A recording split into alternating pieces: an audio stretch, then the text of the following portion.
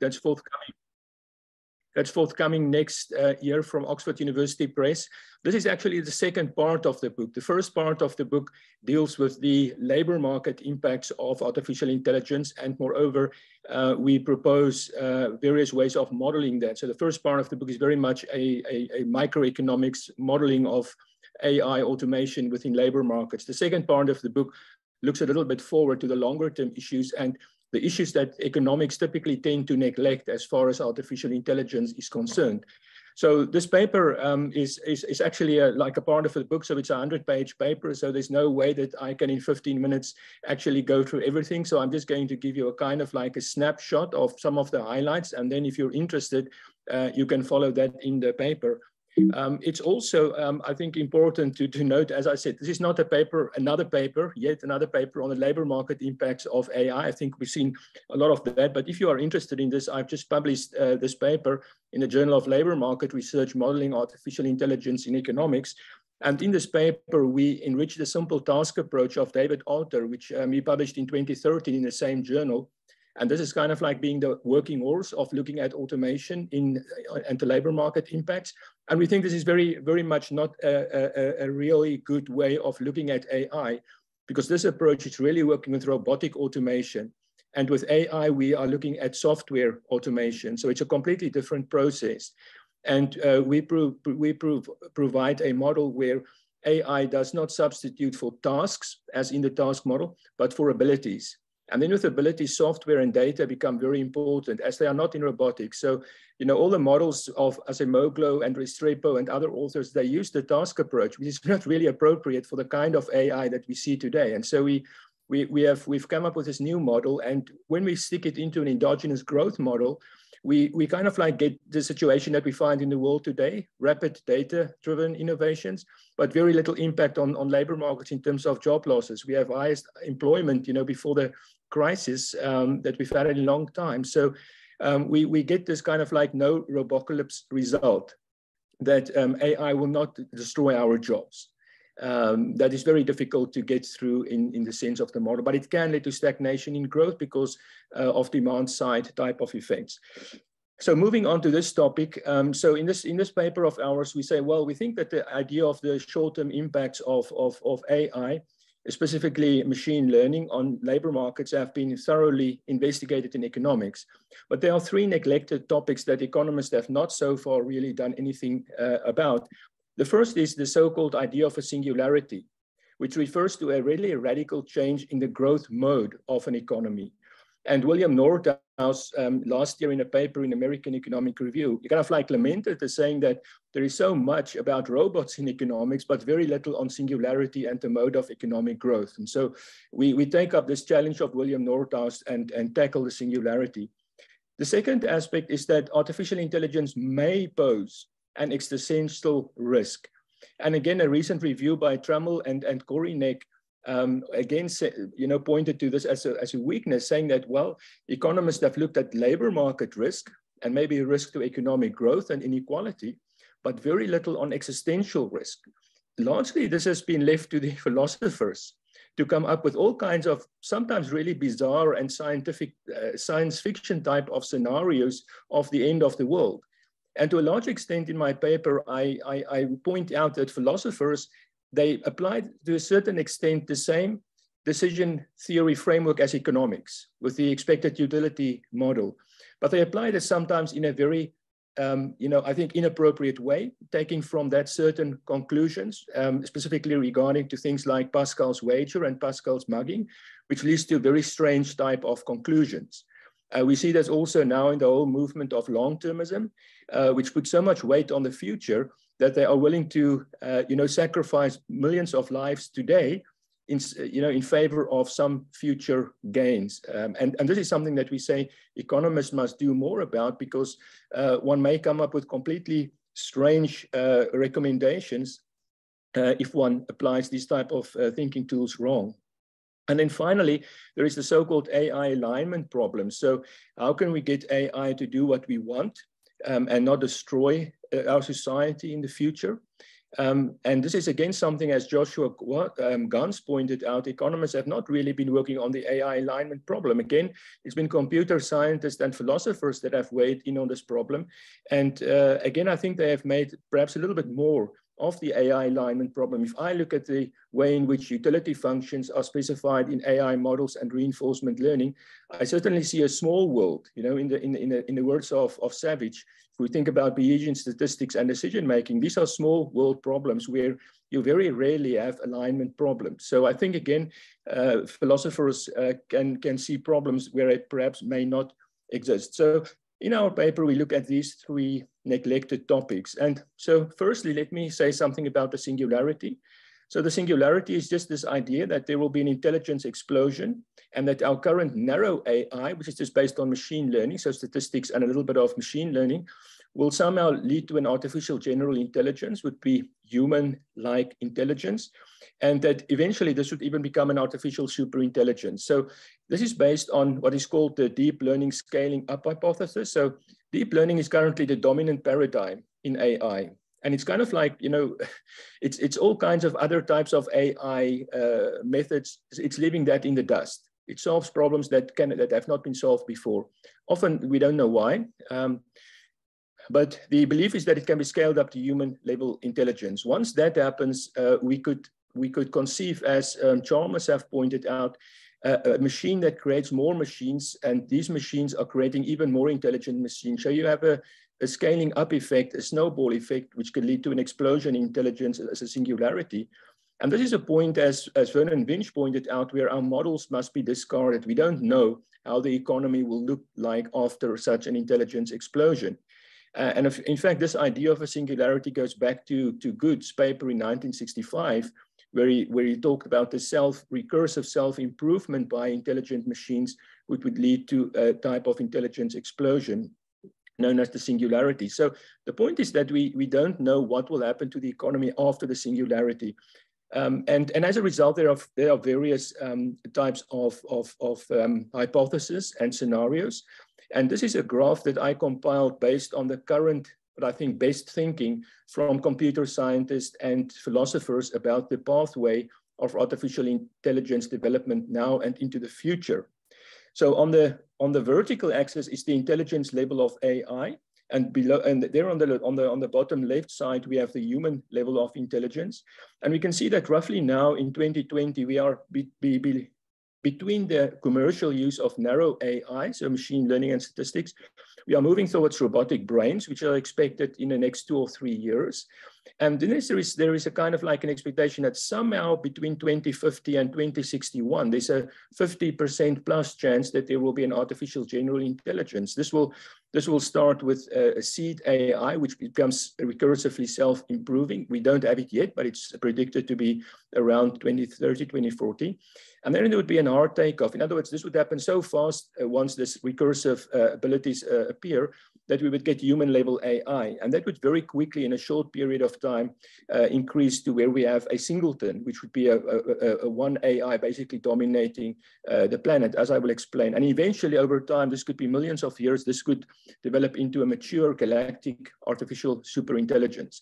All of these different steps from the potential threats um, in terms of a treacherous turn or a hidden AGI all of these are discussed very thoroughly in the scientific literature, right? So I try to stick with what, um, what, what, what computer scientists, uh, physicists, uh, philosophers have been publishing in peer-reviewed journals and not so much uh, in, into science fiction. So although it sometimes read like science fiction, and William Nordhaus have also made the comment that very often there are elements of science fiction, and these are all very real scenarios based on real physics and, and, and real uh, science in terms of the possibilities. So there are, there are, there are probabilities, and not certainties attached to these different types of pathways. So I want to talk now here specifically about the intelligence explosion, the singularity, and then later I'll talk about the singleton and galactic um, ASI type of phase. So the first thing, if we talk about the singularity, is to compare that to the no artificial general intelligence baseline. What would happen if you would have no artificial intelligence to support economic growth in future? This graph tells us world GDP since the year 1000, and you can see this hockey stick. So something happened after 1800 that gave rise to this exponential, actually super exponential growth for most of this time. And endogenous growth theory basically explains this as a positive feedback between population, ideas, and technology. So what we have is we have explosive growth due to uh, an increase in population, which leads to more people having more ideas. This leads to more technology. More technology leads to more growth, which allows the population to expand. And this gives rise to basically this explosive runaway growth. And of course, we have seen in the last 100 years that there has not been explosive growth, but exponential growth. And this is because the, there has been a demographic shift. There has been a fertility has fallen in the West uh, below replacement rates, for instance. And this kind of like breaks the link between the uh, positive feedback between population and growth. But it still leads to relatively constant exponential growth, even if it's not uh, uh ex explosive economic growth. Now, once, once we have a demographic uh, changes that are more significant, what will happen if we have no AI? Well, if we do not have um, AI and we have uh, constant population growth, then we will have constant exponential growth. But once we start to have negative population growth, as um, as um, Jones have also shown uh, in his very nice economic growth paper just published in the American Economic Review, we will end up with the empty planet result. We will end up with growth collapsing, right? So this is mathematically shown that, you know, we will have that. And according to Jones and also the empty planet shock, um, this is also something that I think is, is sometimes surprising. People think we are living in an overpopulated planet and that population pressure is a real problem. Um, the problem is actually that we will run out of enough people very soon. Um, so Jones also showed that with 1% annual decline in population, world GDP growth would drop to zero somewhere between 85 to 250 years from now, right? So, um, so without population growth, we will see, you know, at least in two centuries, we will have no growth anymore possible. We will have no growth scenario. So what AGI will do is AGI will restore both the population and the ideas as drivers of economic growth, right? And According to a recent paper by Davidson, it could result in explosive economic growth of 30% per year, which means that basically almost every two years, the world economy would double. At the moment, the world economy doubles every 35 years. So the expectation is with such an AGI intelligence explosion, uh, you could have a 30% growth, doubling the world economy every two years. And this singularity then is an inflection point in a move from the mode of growth so we've had the, the agricultural revolution, which had the mode of growth, then the industrial revolution with its mode of growth. And so with AGI, people see a different mode of economic growth. Now, the, the, what happens after this and what these modes of growth are, this is very speculative in the literature so far. So I'm not going to go much in detail. You can read in my paper how I describe this. There are basically three types of scenarios after the singularity. Um, one is called fully automated luxury capitalism. And a lot of people are here talking about having basic income grants to assure that humans will just live and machines will, AI will do the real heavy lifting work.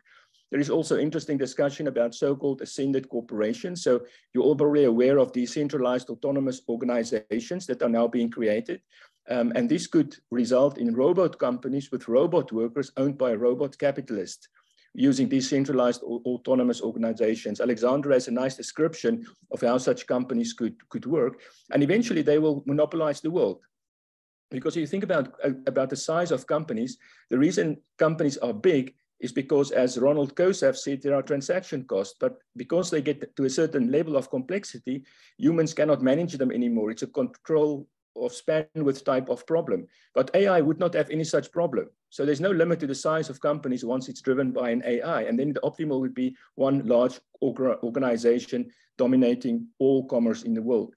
And then finally, one of the most uh, interesting scenarios is by the economist Robin Hanson called EMS, or um, brain, full brain emulations, where we upload our brains uh, in, into a computer and we become generally digital people.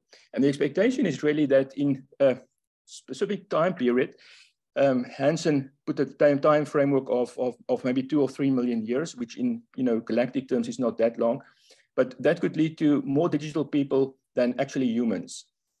And you can read about uh, the different scenarios and how fast the economy would grow. I mean, such a digital economy where growth is basically decoupled from physical resources, uh, the economy may double every two weeks uh, in Hanson's uh, estimation. So he's written a whole book about this. You can read about it in this, The Age of Em. Um, more minutes, Wim. Thank you very much. So, so in the final final aspect, which I want to uh, come to, is the singleton uh, or the final uh, existential threat. So there's really a lot of people believing that AI will lead to an existential threat. In fact, it's seen by even economists like Noy and Uher as the most significant existential threat facing humanity. Uh, right. So um, uh, the, the, the, the question is, is this real and what is the mechanism? Why would AI pose an existential risk? So there are two things. One is the capability and one is the value claim. Firstly is that it may be, because it's so powerful, it may just even accidentally uh, kill people. But there's also the fact that its values may not be aligned uh, with, uh, with, with humans. And say there's a 1% chance that in the next century, AI will kill humanity, which is what Toby Ord uh, estimated to be. And if you think about the damage, then we should be spending a whole lot of effort on tackling existential risk. But it seems a recent review showed that there is about 300 people working at the moment in the world on the existential risk of AI, which led Sam Harris to say, well, this is, there are more people working in McDonald's in his, in his local town than are focusing on the existential risk of AI. And there's virtually no economist working on the existential risk of AI. Um, so AI could, could pose uh, existential risk by, um, by, for instance, an AI lock-in. So if you have this singleton or this uh, domination of the world economy and you have the values of the AI, then it would basically be stable forever. You know, you would always be this autocracy that you can never change. You know, so think about think about the worst regime ever in human history, and there's no way to change that ever. A second thing is this type of like, you know, what we get in movies, the wireheading, where you have direct simulation of reward centers in the brain. So we are doing this with mice. And so it's quite easy to imagine that in future an AI could just wirehead humans and we would have a, a bad future. This is actually what Huxley described in his Brave New World, where people were wireheading themselves. The, the regime who kept them in, in, in place said, well, we're not going to use the face on the boot approach to repress people. We're going to keep people happy and docile all of the time. And this is more likely with an AGI. The, the first thing in the final minute is the, just to, to, lead up to this final uh, question is the dark forest hypothesis. You can read about um, this as well. So AI could pose a uh, risk because it may be the case that it's not only AI in the in, in, in, on our planet that's a risk, you know, because if we think that AI would lead to AGI on, our planet, then maybe it's already existed on other planets in the in the, in the past, and and and foreign civilizations in in extraterrestrial terms would actually then be AI. So if we meet aliens ever in the future, and there are very much huge projects now by NASA to look at extraterrestrials, to find them, they would likely be artificial general intelligences. And so these may actually be a more of a threat uh, to humanity than our own AGI. And maybe we need to discover an AGI before we meet an alien artificial general intelligence. So on that topic, I, I would like to, to stop. I've given you just a brief overview from the ideas. Um, and in this ideas, there's lots of things for economists to do because many of these questions need the marginal thinking of economists and the cost benefit analysis of how uh, we need to tackle and think about these type of, uh, of, of, of, issues, which is not being done so far. So on that point, let me stop. Thank you very much. Great, Wim. Uh, very interesting indeed. Thank you. Uh, we have a couple of minutes for questions. I think Klaus was raising his hand. Yes, go ahead. Yeah, I think uh, Wim, this is a fantastic was a fantastic presentation. Um, I, I, I have no no no much knowledge, not much knowledge about uh, AI. Um, I'm just uh, I'm just uh, excited to see what kind of research we have. Also, the outlook is not necessarily exciting uh, all the time. Uh, what you're saying looks looks potentially dramatic, and we have to be aware of this potential. Of course, it, it, it, it objects to many other people who maybe not taking enough care about AI. For instance, Oded Galor, uh, a friend of the, a big friend of this organization, has published this year this book on uh, humanity, and his claim is that it will, uh, will humanity will move up, and uh, in particular because we educate uh, us much better, we, we, we have gender and uh, whatever equality in the future, and and so on. Um, uh, that um, the question is why he can be so completely wrong. Now, what what, what my feeling my feeling is. Uh, uh, what is growth? Um, um, in, in that was my initial, understanding. Maybe that's a bit a naive question. Um, what is growth? Um, in, in, in a society dominated by AI, yes, um, uh, is there still a market? Um, maybe, well, maybe not. Yes, maybe. Uh, I don't know. And are there prices and and so on? Um, so so what is what is growth and what what is real growth? Um, sometimes it's about these innovations. We know that sometimes very difficult to to measure that. Um, but in particular, when, when, when it's exploding in such a way, um, um, well, uh, we need to understand, um, okay, we don't need humans, so the, the, the, the, the Earth is, is not over, uh, is, is cannot be overpopulated, yes. Uh, um, it's not a space problem anymore, I mean, uh, and so on. So yeah, I understand all this, yes. Uh, okay, what is growth? That's my question.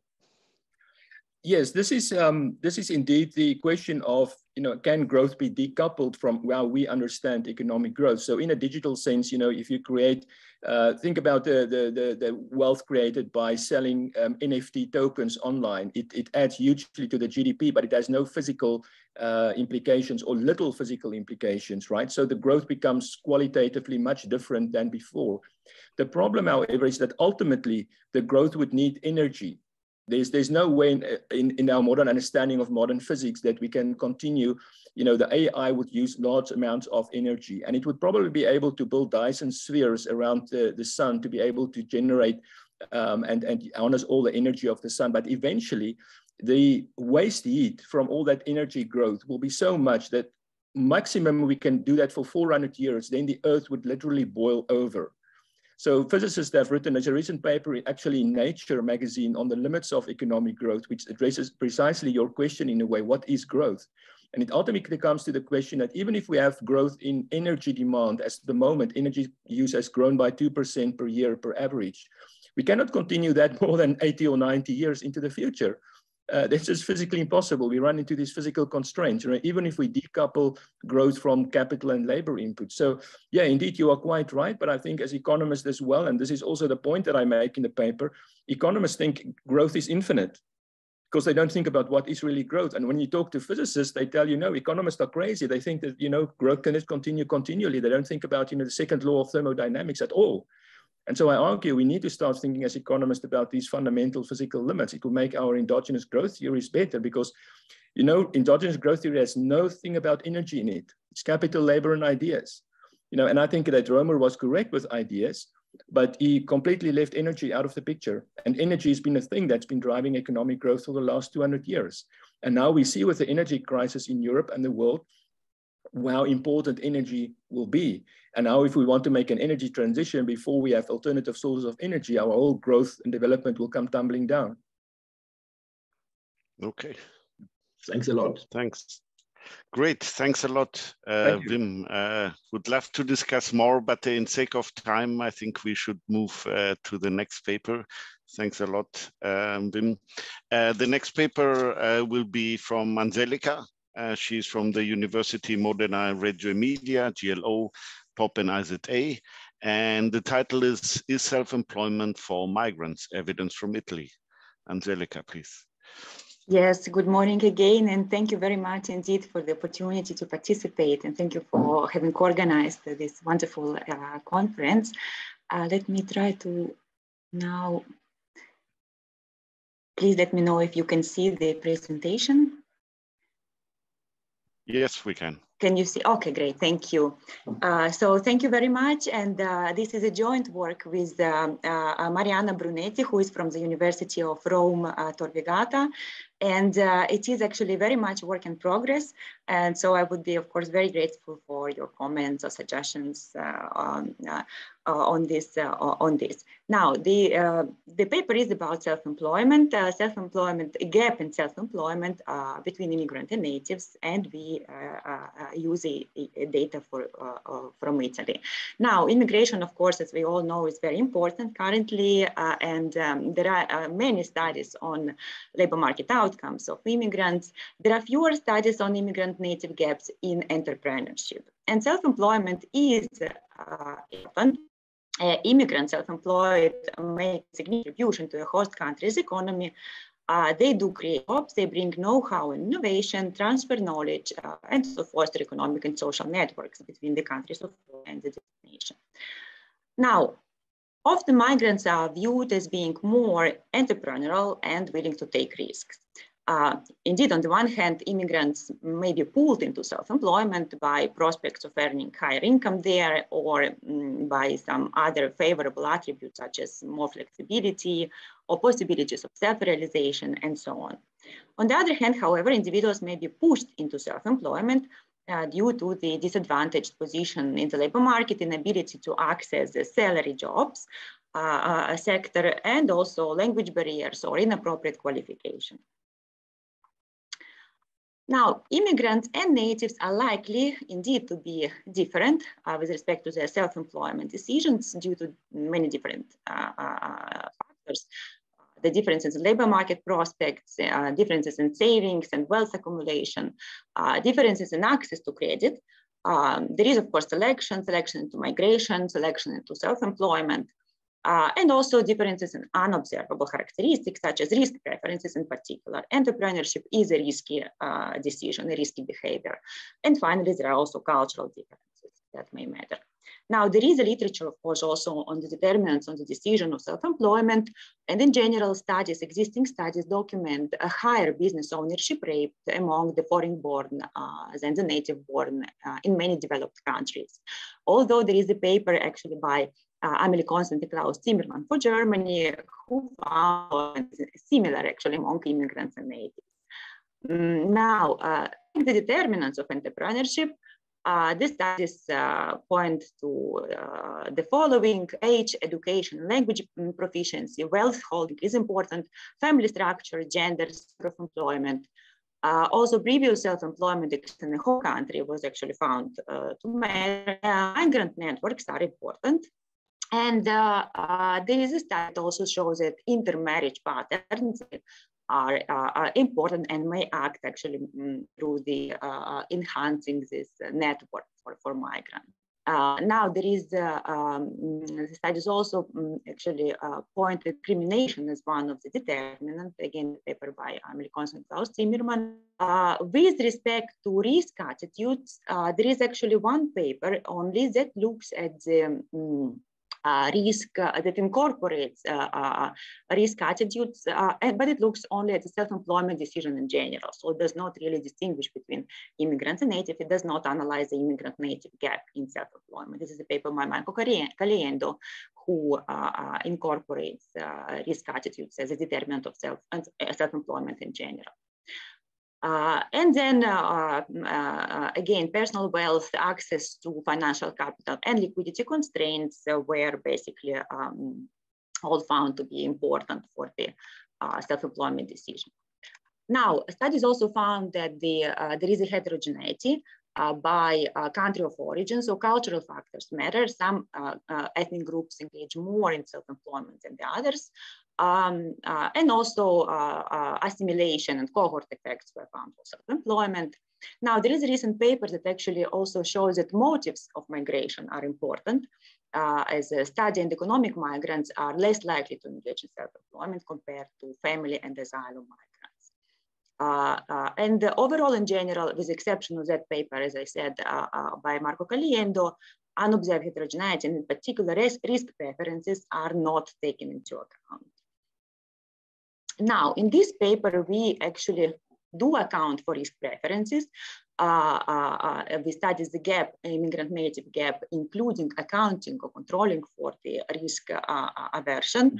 And we investigate uh, the gap using the data for Italy. A rich data set over 2004-2020.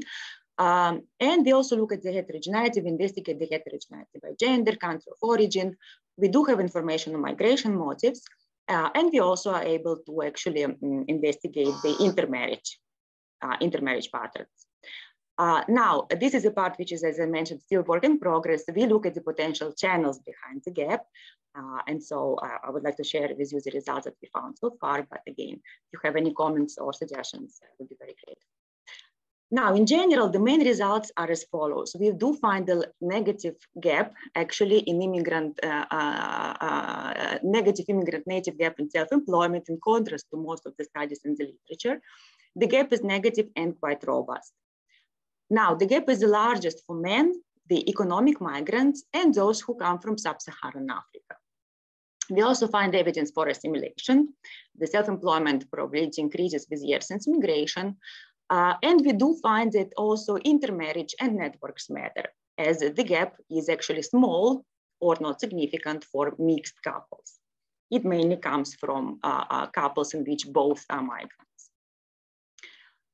A little bit about the context. So Italy actually has experienced one of the fastest increase in immigration. In the past uh, 15 years, it actually had almost a threefold increase in the stock of foreign born legally residing in the country. Uh, it has faced significant immigrant flows following uh, EU enlargements and also uh, large refugees inflows recently. Uh, currently, the share of foreign born is actually more than 10%, uh, it's 10.4% in 2021, and 54% of migrants are women. This is just a couple of graphs to illustrate what I have just said. So as you see, there is uh, the spikes around the EU enlargement, indeed in 2004 and 2007, and there is some break in the series, but you can see that there is an increase in the stock, in the share of foreign born population, uh, indeed, uh, the main sending countries are Romania, Albania, and Morocco. And uh, as you know, in Italy, there is a sharp north-south divide. So most of migrants reside actually in the north or in the center. So the largest share of immigrants are settled in Lombardy, Latium, and Emilia-Romagna.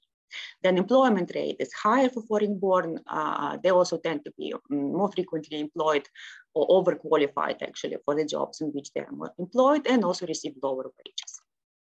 Now the data that we use, we use the data from the Bank of Italy. It's uh, the, uh, the historical archive uh, uh, of the survey of household income and wealth, the so-called SHIW dataset, which is a representative survey of households legally residing in Italy. It's a rotating panel, and we use eight waves.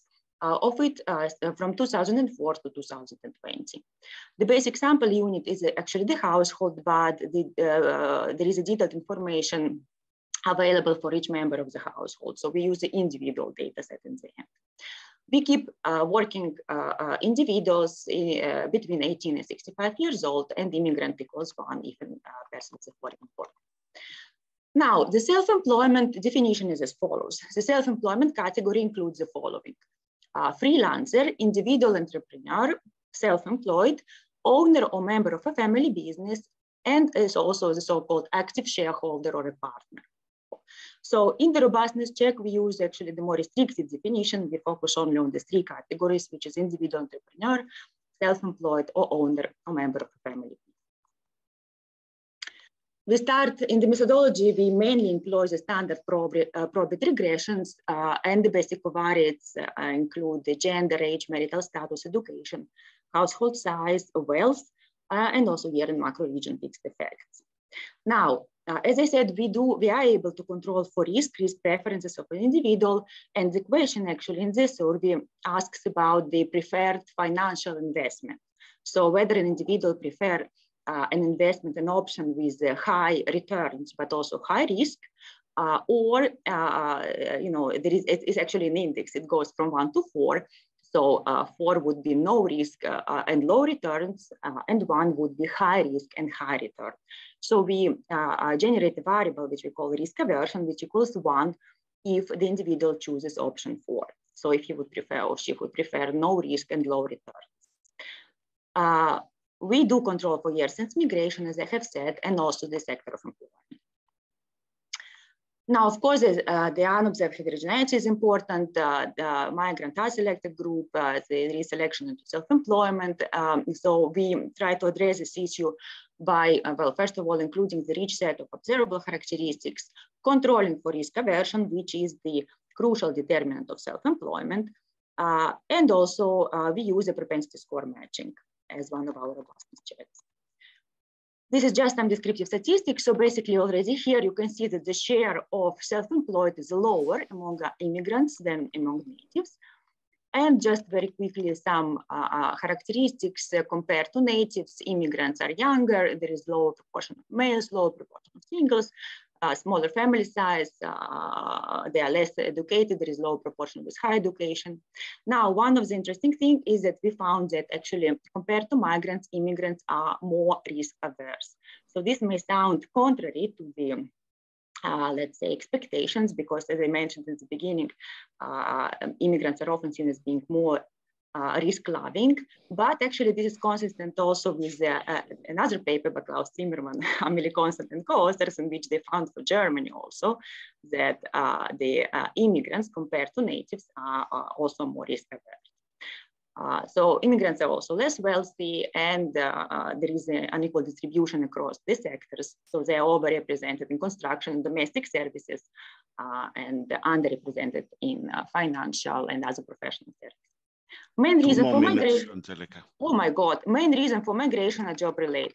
This paper shows the, sorry, this paper shows the main result, as I said, the unadjusted gap is around 10 percentage points, it's a marginal effect uh, with robust standard errors weighted by population weights. And the, when we control for all the available characteristics, the gap is around 11 percentage points. Heterogeneity by gender. So as you see, the gap is almost double for male the, uh, in the last column. Uh, for females, around 8 percentage points, for men, around 17. And this is a table that shows that intermarriage uh, matters. So we do find evidence that indeed uh, in the couples in which both in, are uh, immigrants, the gap is uh, significant and quite large, while in the mixed couple, in the couples in which one is immigrant and one is native, the gap is either not significant or quite small, around three percentage points also. There is a heterogeneity by country of origin. The largest gap is sub-Saharan Africa, the smallest is the one, uh, those who come from Asia and uh, uh, migration motives as I said, job related are actually uh, those who come for job related reasons experience the largest immigration gap. Now we try to experiment to look at the potential channels behind this gap.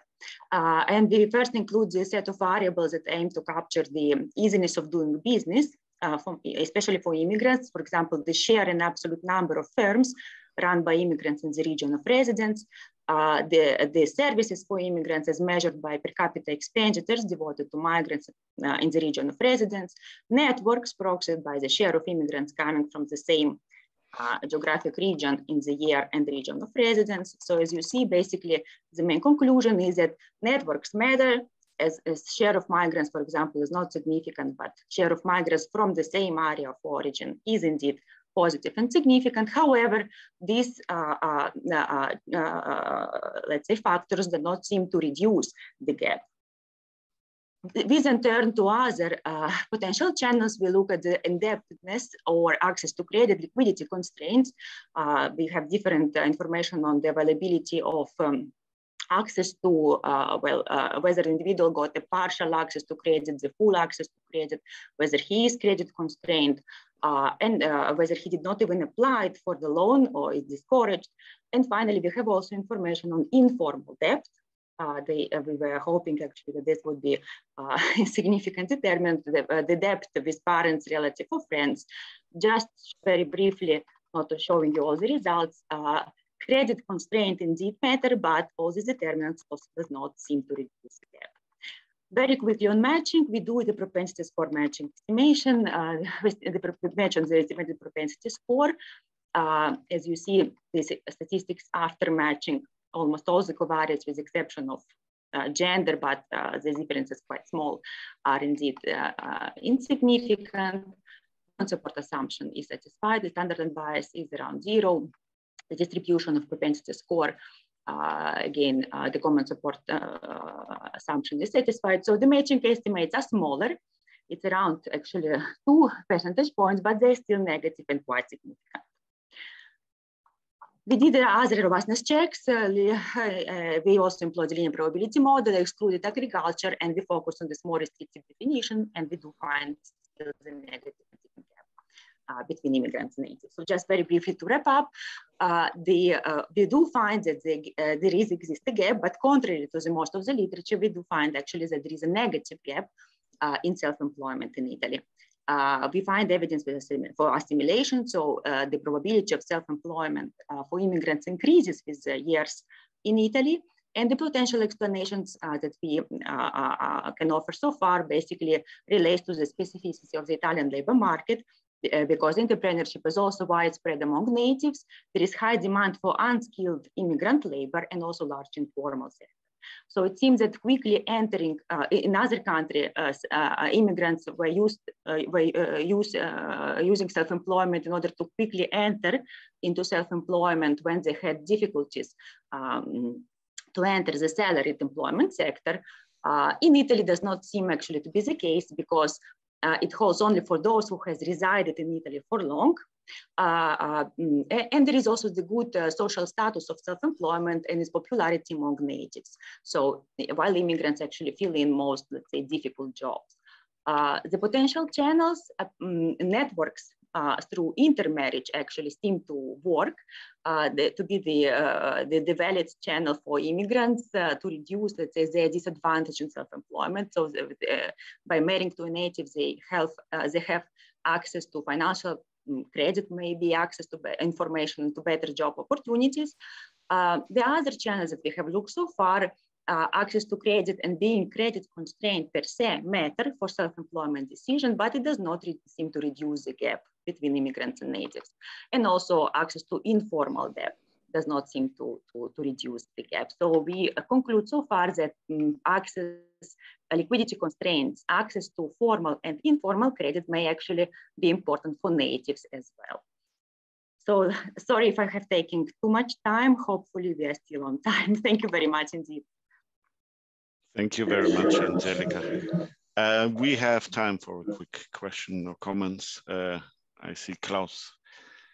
Yes. Very quickly, I don't want to dominate uh, the discussion here, but uh, that's indeed very, very, very surprising, so to speak. It, it uh, rules out, I mean, the, the, the, traditional image of a migrant coming in to be self, uh, self-employed. Um, that's, now, is this uh, how much uh, can you say this is uh, more global evidence we have ignored that so far, or is this particular for Italy? And uh, the other question has to do uh, what's about informality of work? Do you do you uh, take account of that issue? Exactly. Thanks. Thank you. Yeah, thank you very much. So uh, uh, uh globally, actually, uh, uh, the my reading of the literature indeed is that, as you said, it's um, what we also expected to find the positive gaps. The migrants are viewed as more entrepreneurial and more self-employed. So um, our interpretation so far is, apart from the paper, your paper, actually for Germans, that you also found that there is a similar, uh, a similar propensity to engage in self-employment between immigrants and natives.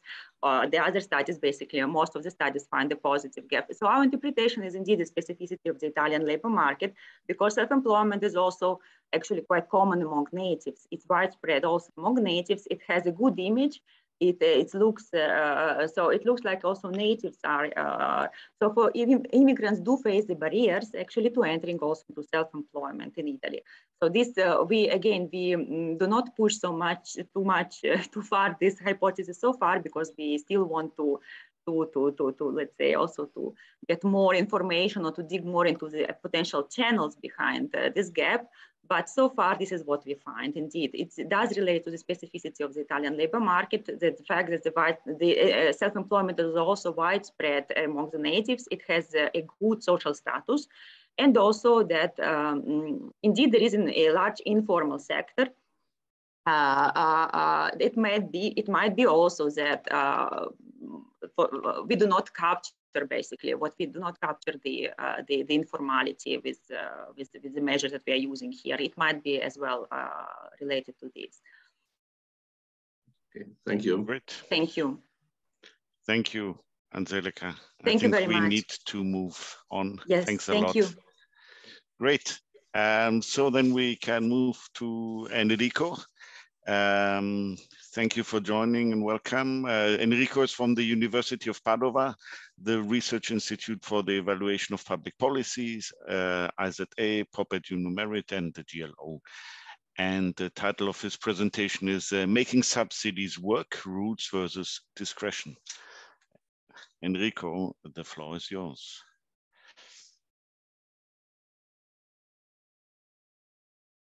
If you're talking, we cannot hear you yet. You may still be on mute.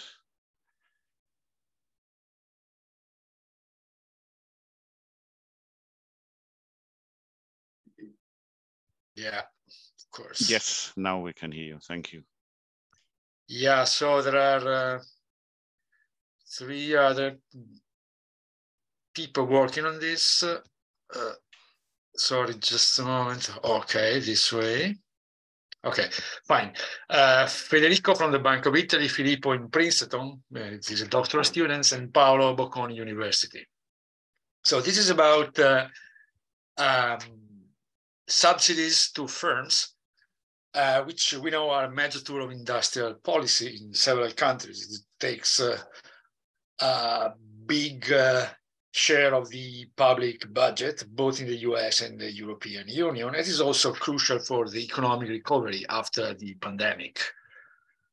Um, so the aim, generally speaking, is to create employment in disadvantaged areas. And of course, the effectiveness of this kind of intervention depends on the ability to target good project, good firms. So the allocation mechanism, the selection rule is crucial to the effectiveness of this uh, type of intervention.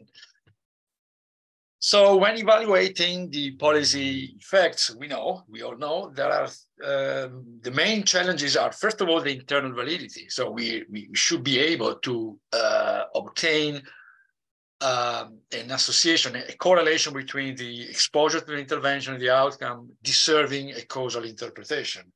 And of course, we need to care about the heterogeneity. How does the effect vary between different types of firms? And finally, external validity. Are we able to generalize the results to different contexts or maybe to uh, different uh, reshaped ways of uh, assigning the subsidy, different rules? Uh, so there, we know there is a, typically a trade-off, in particular between target one and target three. So by now we we have an array of credible tools to identify a causal effect. But then the question is whether we are able to generalize the results we get on a specific uh, uh, case study. Uh, the extreme case is the case of the regression discontinuity design, which is about what I'm talking about today. Because we know that the RDD is able to provide a credible a causal effect, average causal effect, but on a very specific subpopulation of units, those close to the cutoff relevant for the assignment of the intervention. So this is an extreme case of a trade-off between internal and external validity. So today I'm talking about uh, uh, a major program of public subsidies in Italy. It is Law 488. Uh, there is rationing of funds in this case. So application, applicants are ranked on a quantitative score, one single uh, running variable, generating an ideal setup for a regression discontinuity design. And this score, this running variable, uh, sum is the sum of objective criteria and one component of discretionary priority by local politician. So we are comparing, we are trying to compare the um, impact of using uh, the objective criteria versus the discretionary uh, priority by local politician. So in the first step, we estimate the effect on marginal firms, so firms at the cutoff exploiting the RDD setup. And then we exploit a recent idea by Angrist and to identify the causal effect away from the cutoff, so generalizing the result at the cutoff. Um, so the institutional background, so Law 488, introduced in 1992, is the main instrument of industrial policy in Italy. The primary aim, of course, is to increase employment in disadvantaged areas of the of the of Italy. Uh, the policy tool is investment subsidies to firms. Uh, large uh, budget for this intervention, 26 uh, billions over 35 different calls over the year from 1996 to 2007, so more than 10 years. So the allocation mechanism, so each call, each of those 35 calls are targeting specific sector, industry, services, and so on. And the funds within uh, each call are preliminarily allocated across regions. As you can imagine, being the target disadvantaged areas, most of the funds went to the southern part of Italy, even if not only to southern part of Italy. Um, the applications, the applicants are ranked within each sector region cell according to a quantitative score. This is the running variable of the RDD. And this quantitative score is the sum of uh, uh, different scores clearly defined ex ante. Over the first two years, there were only objective criteria. Skin in the game, this is the own funds the applicant is ready to put into the project, the number of jobs they plan to create. And the third criterion was funds requested by the applicant relative to the maximum they can apply for. This is only during the first two years. Starting from 1998, a fourth component to the score was added, the political discretion. This is an index decided discretionally by the regional government. Forget the fifth one, which is really a marginal one. So in the end, the running variable of the RDD, the score relevant for the application is the sum of the five normalized score. This is the running variable of the RDD. Um, so we have information on uh, uh, approximately 75,000 projects. and we are using administrative data on employment on and on balance sheets. And the empirical, the outcome we look at are investment, the impact of the subsidy on investment, on employment, on the productivity, and on the survival of firms. And to begin with, uh, what we do is uh, run an RDD, pulling together all the 35 codes. Okay, so we end up with one single uh, regression discontinuity design, and we compare the outcome, the average outcome for those immediately to the right of the cutoff to the outcome for those immediately below to the cutoff. It's a very plain standard RDD. Here are some tests to validate the RDD. I'm skipping here to the time constraint. And uh, here is the first uh, main result. So zero is the normalized cutoff. You see that to the left of zero, no one is receiving even a single euro of subsidy, while to the right, there is a, a, approximately, on average, immediately to the right, half a million euros of subsidy.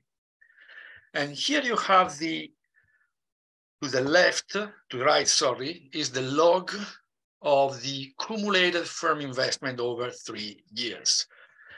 So this is the amount of the subsidy, average subsidy at the cutoff, and uh, bearing a 39% increase in firm investment over the first three years after the receipt of the subsidy, so which is pretty, pretty large.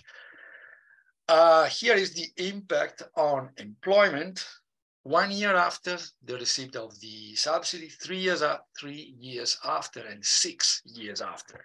So 33% the first year, 10% after three years, 17% after uh, six year. Uh, so dynamic effects over an horizon of six years on investment, employment, revenues, value added, value added per worker, and survival probability. You see there is uh, everywhere, but here, a large impact and lasting over the years. But you see here, there is no impact at all on the productivity of firms, the value added per worker. So bottom line out of the plain RDD, an impact as large as 39% on investment, 10% uh, uh, after three years on employment, 17% after six years, no impact on firm productivity, a large increase in firm survival at the cutoff. The point, of course, is what is happening away from the cutoff for the other firms. And it is here that we exploit the paper by Angrist and Rokkanen. This is Journal of the American Statistical Association 2015. Their idea is very, very simple. So in RDD, we know that we perfectly know the selection rule. It depends only on the uh, running variable, the score based on the feature of the, of the applicant. So if the score is positively correlated to the outcome, then we have a problem of the selection bias.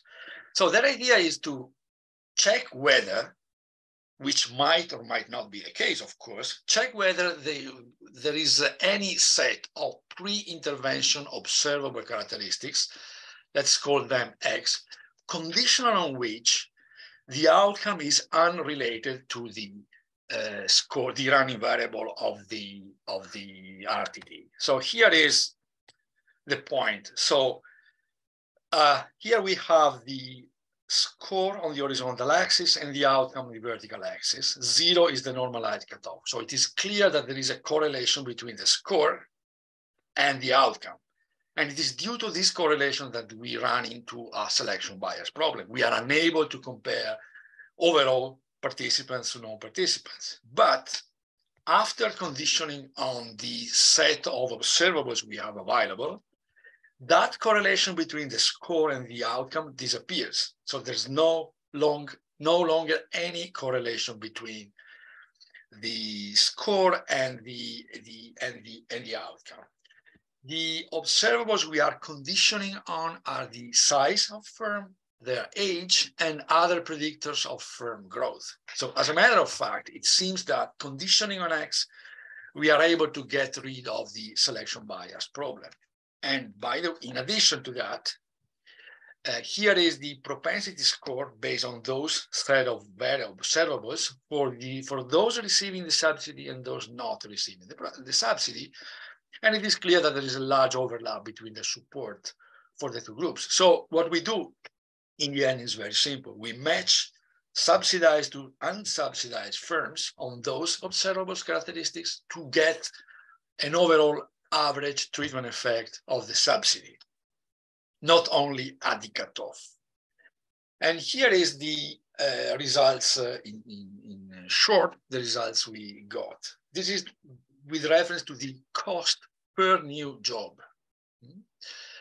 Uh, using different ways of selecting the observables, but results are basically the same. So overall, the cost per new job in thousands is as large as 170, 180, with a large difference between the south of Italy and the north center of Italy. So the cost per new job is much, much higher in the south of Italy as compared to the rest of the country.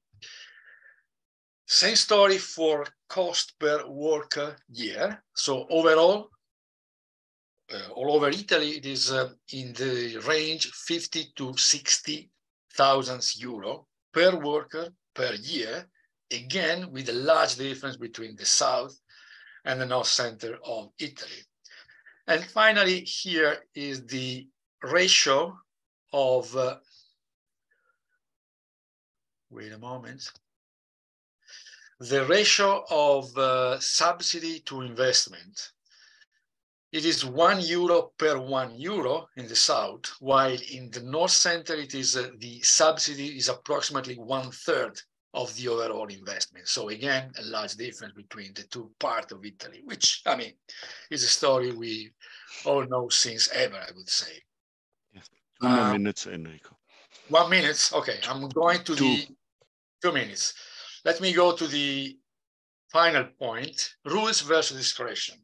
So we, here we are able to compare the role played by the objective rule to the role played by the, the politician discretion. So first of all, there is a clear negative correlation between the two scores. So the larger the index for political discretion, the lower the index on objective rules. And the main point here is the, this heat map here. So the cost effectiveness, so the number of new jobs created per euro, increases with uh, uh, the objective rule. So the larger the objective rule, the lower the cost per new job created, while the cost per new job created increases with the political discretion. Uh, and the explanation is very simple. The local politicians target applicant firms that are smaller and demand larger subsidies as compared to the objective This is the reason why there is that large difference between objective and uh, discretionary rules. Here in the final slide, what we do is to compare the actual outcome, this is the cost per new job created, to counterfactual allocation rules. So first of all, we derive the cost per new job created if uh, we if there were no discretion in the allocation. So this is an allocation rule based only on the objective criteria. And you see that the cost per new job created would decrease by approximately 10%. Hmm? The other counterfactual policy is the one based only on discretion. So no room here for the objective criteria. And what you see that is that the cost per new job created would increase by, on average, 50%. So this is the, the difference between rules and discretion. So the conclusion is that uh, uh, this uh, policy tool, the law 488, it had a positive effect on investment, large, positive effect on employment at the cutoff. There is large heterogeneity in the effect of subsidies across different types of firms. Large firms are more cost effective than small firms. And finally, it is also clear that uh, an allocation uh, rule based only on objective uh, indices are much better than those based on a discretion of the local politicians. I will stop here. Great, thanks so much, Enrico. And the floor is open for some discussion. Klaus. I, I, have a question, but of course I do not want to dominate the, take away all the comments. Uh, I mean, very short for, for my side now. Um, that uh, that obviously firm survival is is is is better, so to speak. Uh, what I heard remember, but productivity is not rising, and and so on. Yeah. Sub subsidies subsidies in general are. I mean, subsidies in general are uh, something uh, policy policymakers do because they want to help short term or they have long term interest. Uh, so isn't this uh, quite yeah what what what we should see um, and uh, now the question is uh, well is this good in terms of long-term market policies that's difficult difficult to judge but i think all your results are look very nice and, and fine um, in particular also that rules are better than than discretion. That's uh, what we uh, what we want to see. Yes, um, the question is still it might be uh, that there might be good reasons or not no good reasons for give subsidies. But in principle, I would say say this is, looks all nice and convincing.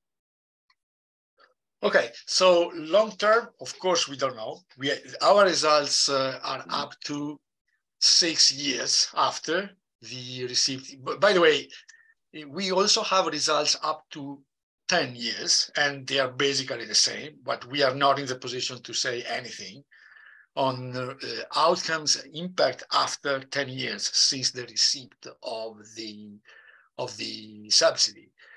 Uh, rules versus discretion, there might be other reasons. Yes, of course, there might be other reasons. I mean, uh, we cannot, in principle, we cannot exclude that there is uh, something else, some other outcomes we are not considering here, with respect to which uh, discretionality might have uh, might have uh, a good reason to be there. we, we, we really don't know, of course.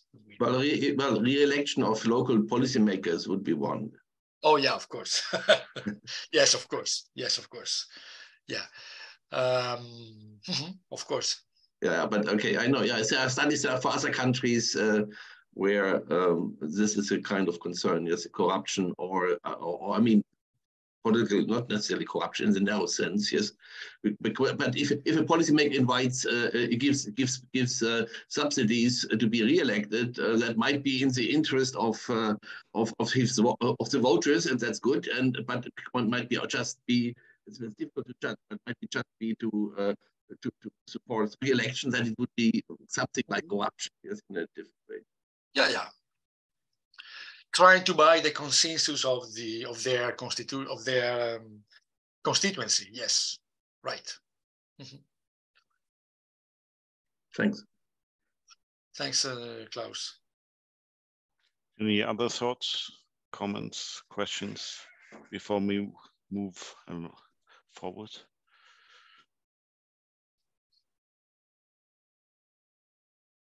Okay, that's fine. Uh, so we um, can stick more or less still to the time. Thanks a lot, Enrico. Really interesting. And then we'll move to the next paper uh, from uh, Ben uh, from the uh, Institute for Employment Research uh, in Nuremberg and the University Erlangen-Nuremberg on gender-specific application behavior matching and the residual gender earnings gap. Please, Ben, the floor is yes. Um, thank you for having me. Uh, my name is Ben. Uh, I hope you can hear me uh, well.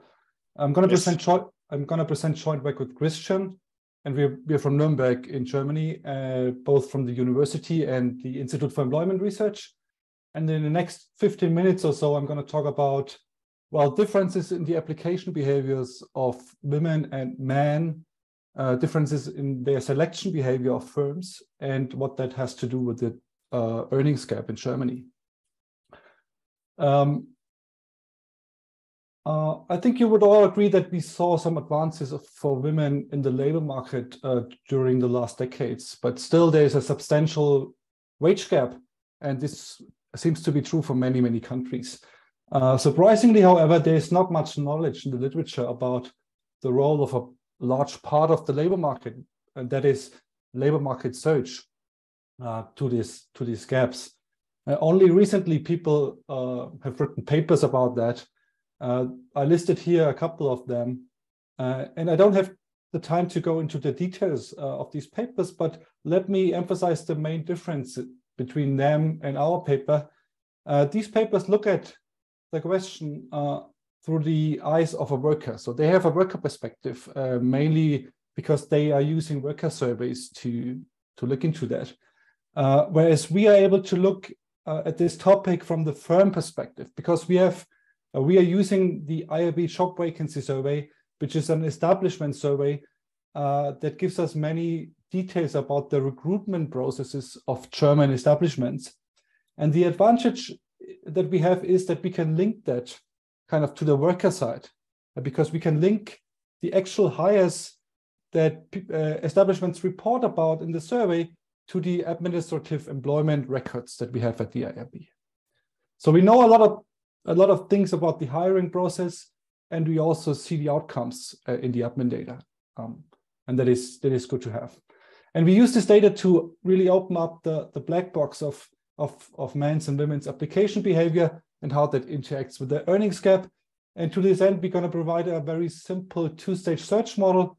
And from this model, we derive uh, two distinctive uh, predictions. The first one is taste-based discrimination. And the second one is uh, uh goes back to Claudia Goldin's idea of linear and nonlinear production functions for certain kind of jobs.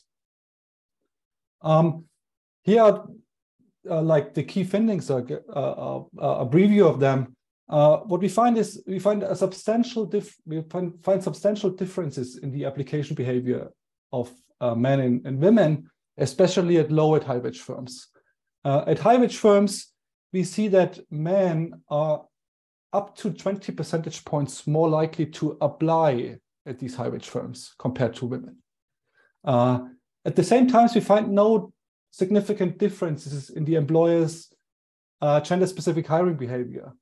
That means that once a firm uh, gets an applic- a comparable application from a man and a woman in our data set, there's no discrimination at this hiring, hiring margin.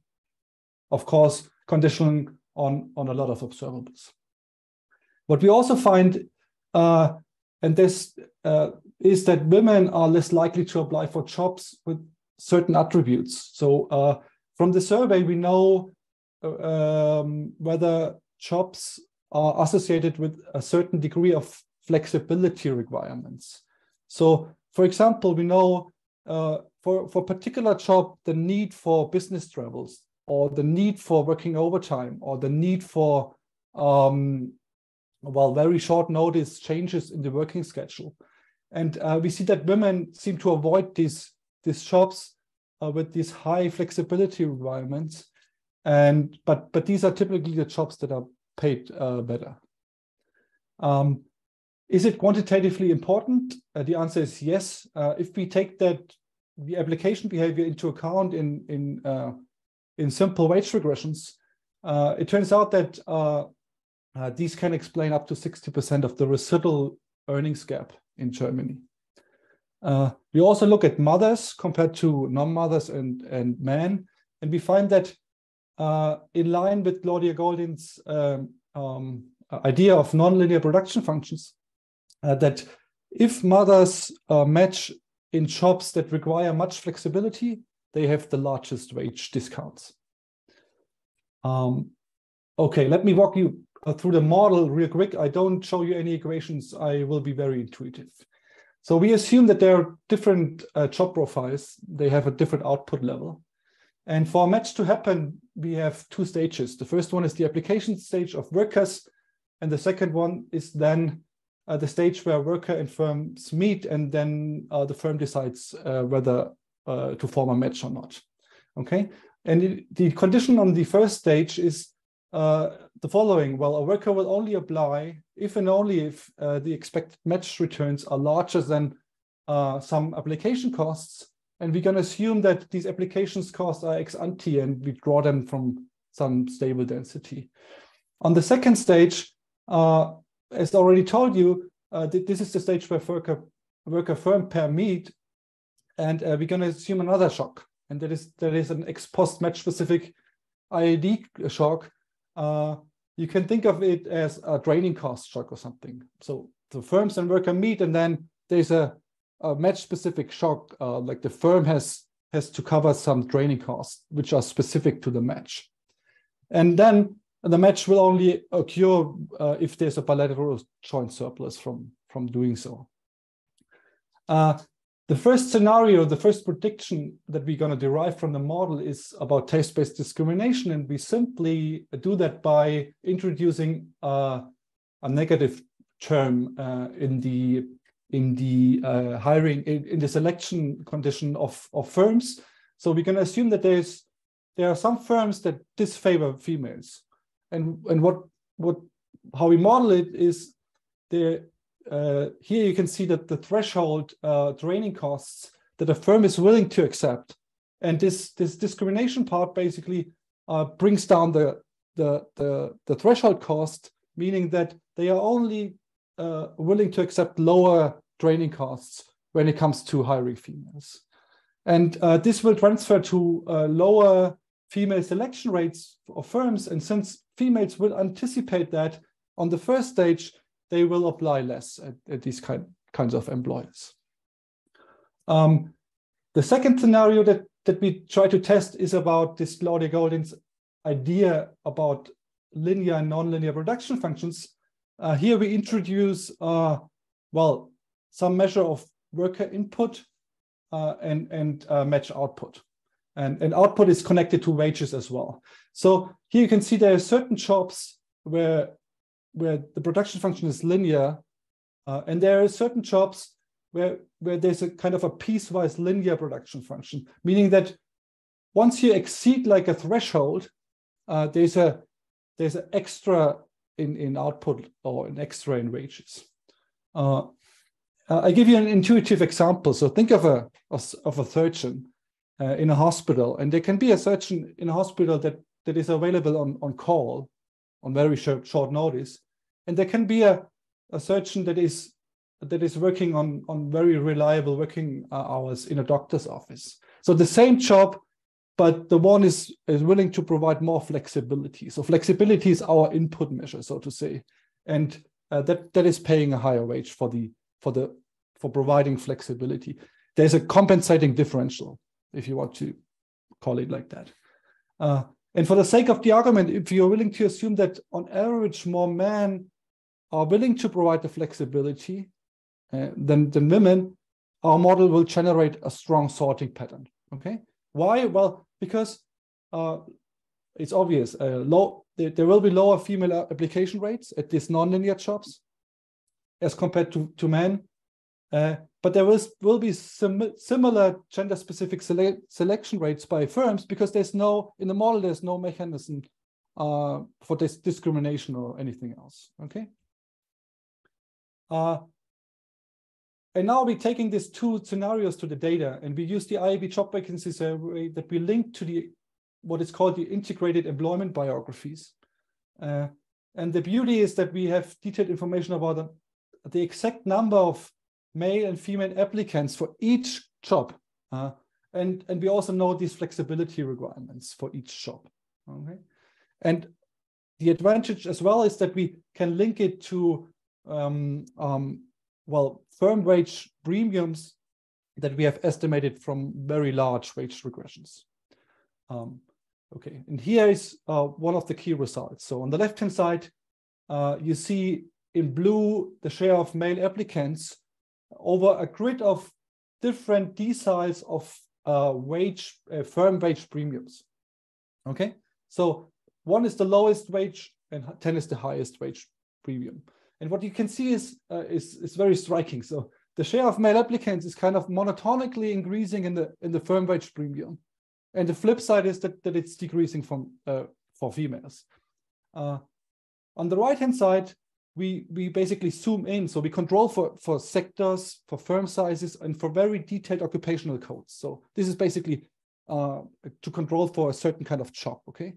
And it's striking. Uh, I mean, the difference is still there. So it's, it, it, gets uh, smaller, but there's still a, a, eight percentage points difference at the very high wage firms and a 10 percentage point difference at the very low wage firms, okay?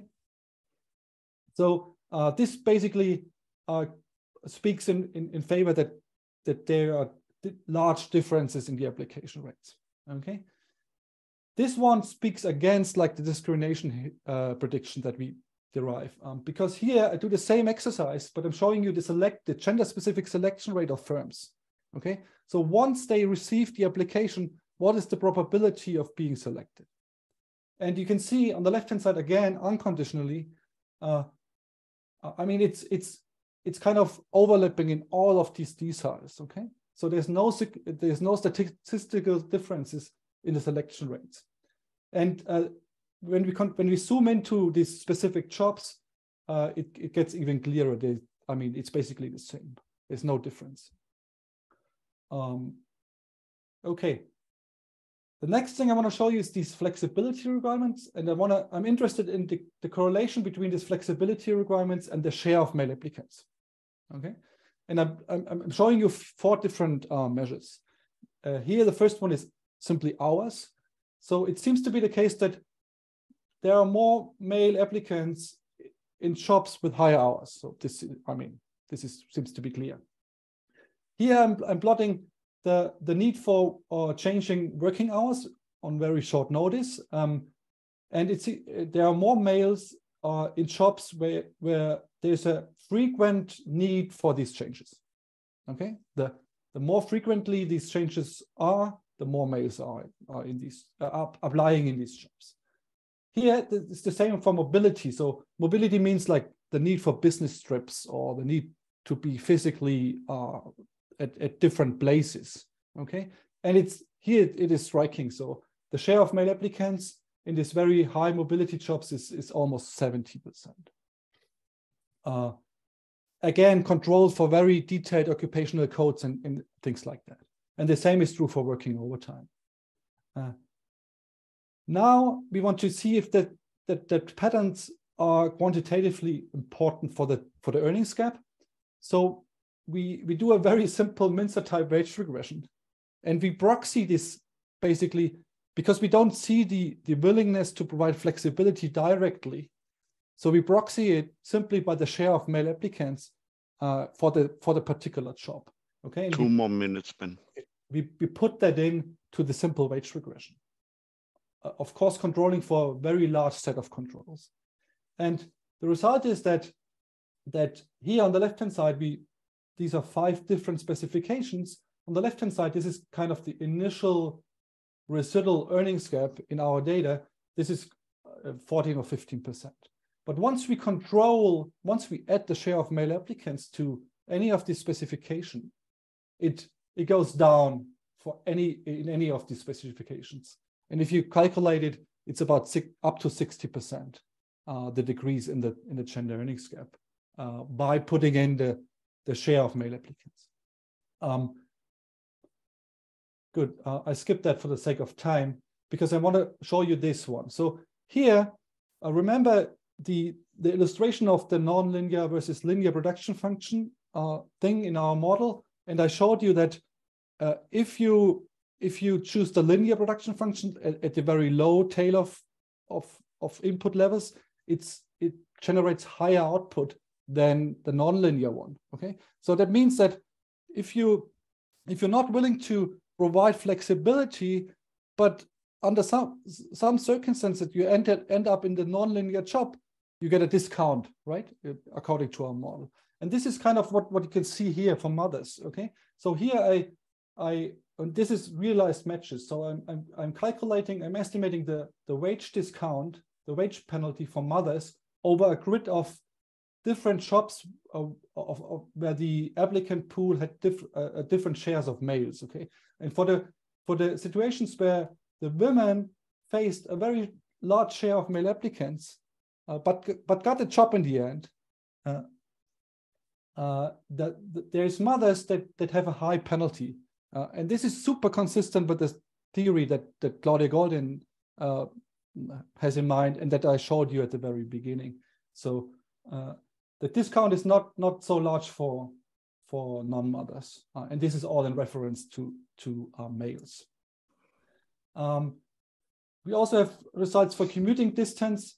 Uh, basically, the story is that the commuting distance is increasing with the wage wage premium. Uh, this is uh, the case for all, all the three groups, but uh, it's the level is largest for males, meaning that they have the, the, the highest commuting distance as compared to non-mothers and mothers. Uh, yes, let me conclude really quick. I mean, we see that uh, there are uh, large differences in the application behaviors, especially at high and, and low paying firms. We think this is associated with larger employer-sided flexibility requirements at these high wage firms and, and shops. Uh, I showed you that it seems to be quantitatively important. Uh, it explains a lot of the residual gender earnings gap in Germany. Uh, well, the question is then, can we get rid of, of this? And I mean, this is up for discussion, um, but uh, the model and, and the, the results that I showed you would, would suggest that a change in public childcare and a change in, in maybe the intra-family allocation would uh, would help but we also saw that in the last year, job requirements uh, went down for some jobs. This is, I mean, this is also has the pot potential to to change or to get more females into this high-paying job. I would say. Yeah, I stop here. Thank you very much. Great, thanks a lot, Benjamin. The floor is open for comments, questions, discussion.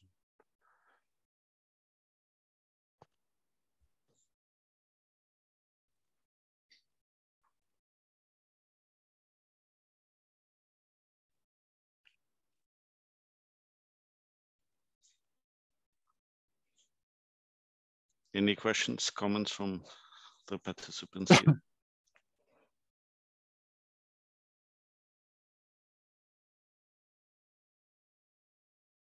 I mean, if I have more time, I can show you another result. yeah, sure, as long as um, there are no questions. Uh, well, but please interrupt me if you have a question. I mean, what what what we have here is basically here we we are conditioned on on females hired. So we we only interested in if if the in the end the female got the job, is it a case that this mechanism also holds? And we, uh, I mean, we we we basically before we had a continuous share of male applicants, and now we we create categories out of that. And the, the reference category is like a, a medium share of males, and and here we conditioning on on female hired. We also see that if there's a, a high share of males compared to a medium share of males, females get more, earn a higher wage. So this speaks like, I mean, this speaks again in favor of this this nonlinear production function because these these females could be the, the one that are willing to provide the flexibility. Um, yes.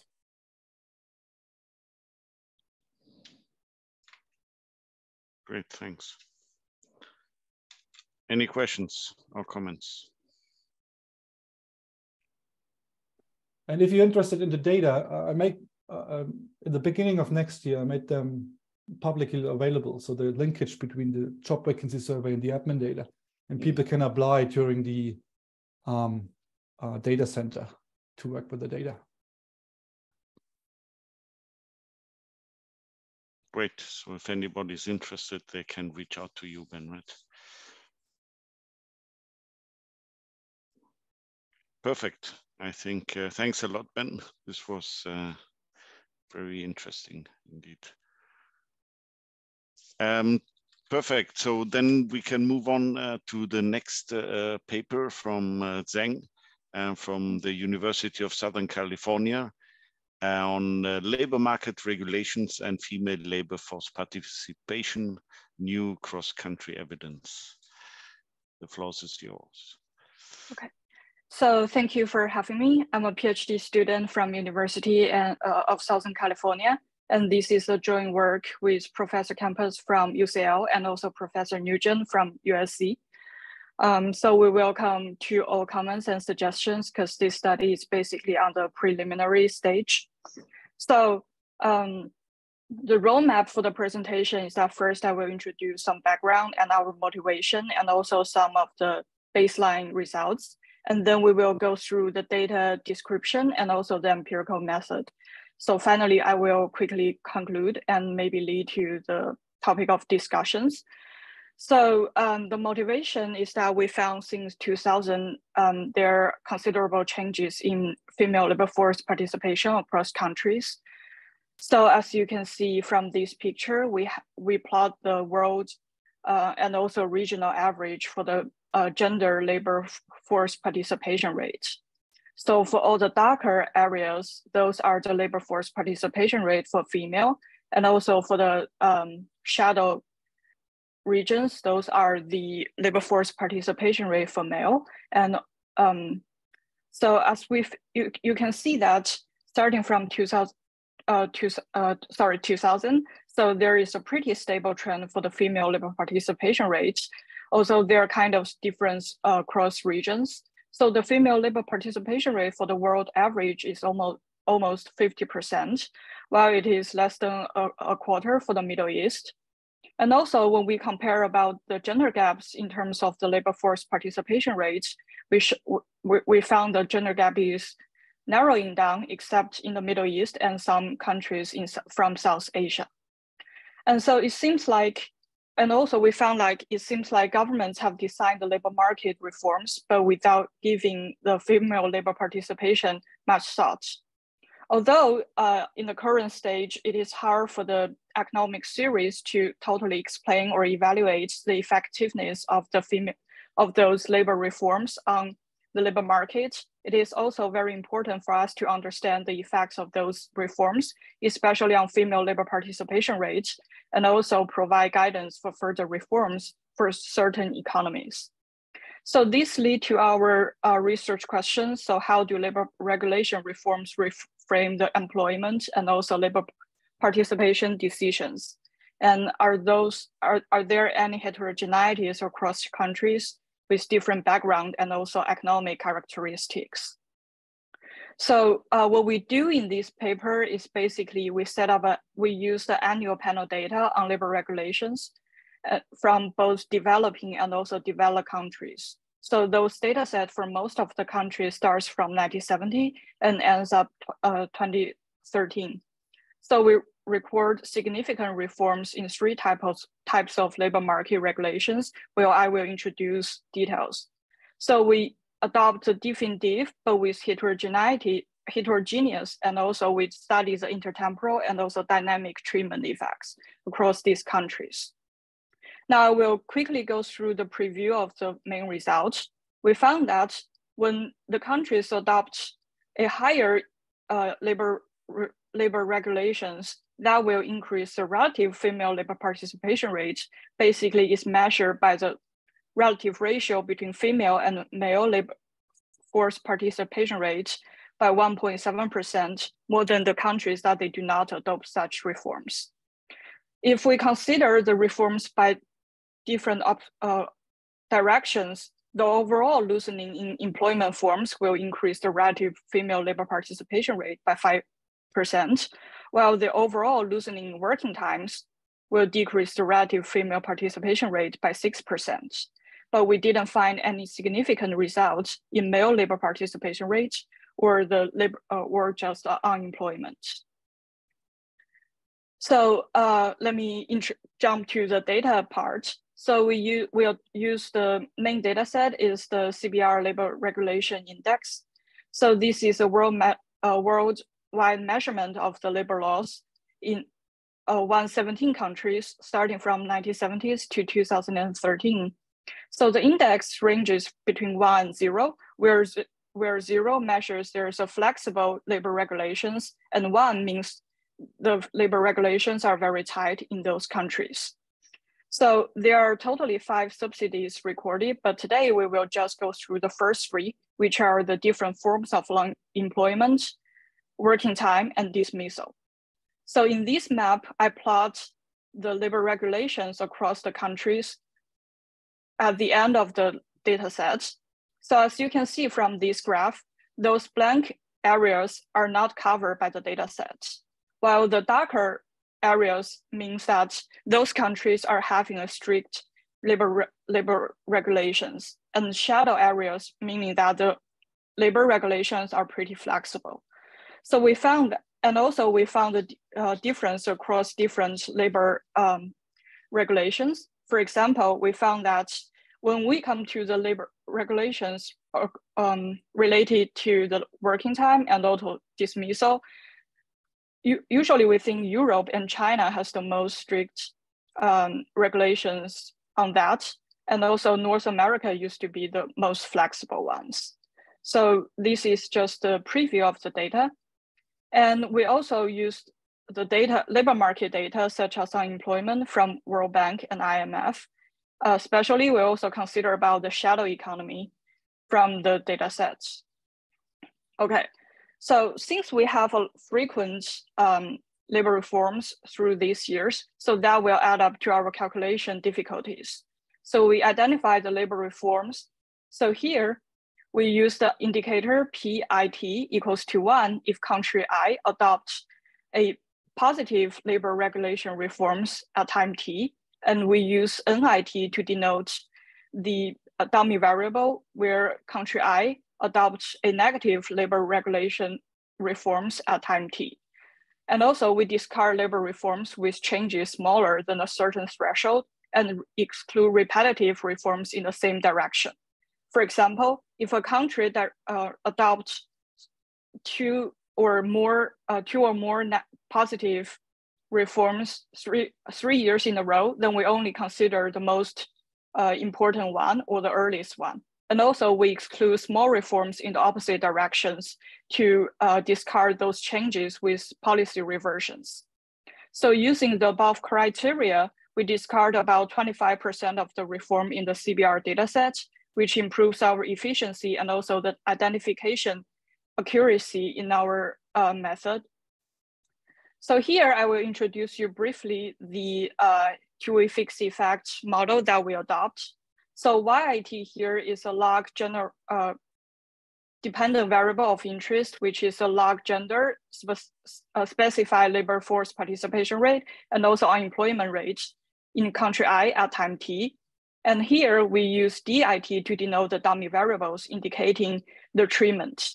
And delta I and gamma T controls for the time and also country fixed effect. And we include GDP per capita, common laws dummy variables shadow economy, and lagged unemployment as control variables. Finally, we adopt the diff in diff designs with multiple groups and periods, which allow us to use continuous treatments and also with staggered time settings. So um, I think due to time limits, I will just show you some of the uh, significant and also important uh, results from at the current stage. So first, we in this in um, in this graph, you will see the effects of the of all these three kind of labor regulations on the relative force uh, female labor force participation rate So here I want to introduce you is that on the left, to, to the left of the zero axis, you will see the placebo estimates using the pre-treatment data. And to the right of time zero, we show the dynamic and intertemporal uh, treatment effects. So we found that for the forms of employment at time t equals to zero, basically at, at the um, instantaneous effect, which is about 1.7% increase in the female labor participation rate. And this effect goes to significant at 10% level and goes to three or 5% at one year or two year later. However, we didn't find that the reforms in working time or dismissal will change the female labor participation rate. And then we focus on the forms of employment to study the pure change, pure positive or negative reforms in the labor regulations. So here, let me show you these uh, results. So on the left hand, on, on this left graph, you can see that there is a tightening or the positive uh, reforms on the employment forms. That is saying that during the uh, during the total duration of the time period that we observe, those countries are having an overall positive changes in their labor regulations. And on the right hand side, when there is a loosening, we found that those countries are actually adopting uh, overall negative changes on their labor regulations. So what we found here is that these effects from the changes in the employment forms are mainly driven by the loosening. So when the loosening or when the regulation are loosening by one, there is a 5.2 in percent increase in the relative female labor participation rate. However, this result is, is totally different from the working time. So when we separate the positive and negative reforms on the working time, we found that there is a significant instantaneous effect on the, uh, on the first year of the negative change in working time. Those means that when the working time regulation become more flexible, females are relatively less likely to attend jobs. So we also conduct a robustness check using the absolute levels of female labor participation rate and found a similar trends for those uh, estimations. So here, let me wrap up. What we found is that we use the DID with multiple periods and reforms with continuous treatment. We found potential short-term effects of forms of unemployment on female labor participation rates. And also we found significant positive effects from, uh, from the change in employment forms and also negative effects from loosening the regulations in working time. However, we didn't find significant effects on the total employment or female or, or male female uh, labor participation rates. So uh, since we're still on the uh, first stage of this study, we have some future plans. So one of these is that we want to identify maybe the potential mechanisms that lead to the difference and also heterogeneities acro across gender labor, uh, labor force participation rates. And also we want to explore the heterogeneity across countries using the uh, maybe more or a more accurate identification method. So yeah, I think that's all I have for the presentation and we welcome any comments and also questions. Thank you. Thank you very much, Zheng. Um, so the floor is open for comments, questions, discussion, recommendations. Yeah. yeah. Sure. Anzelika.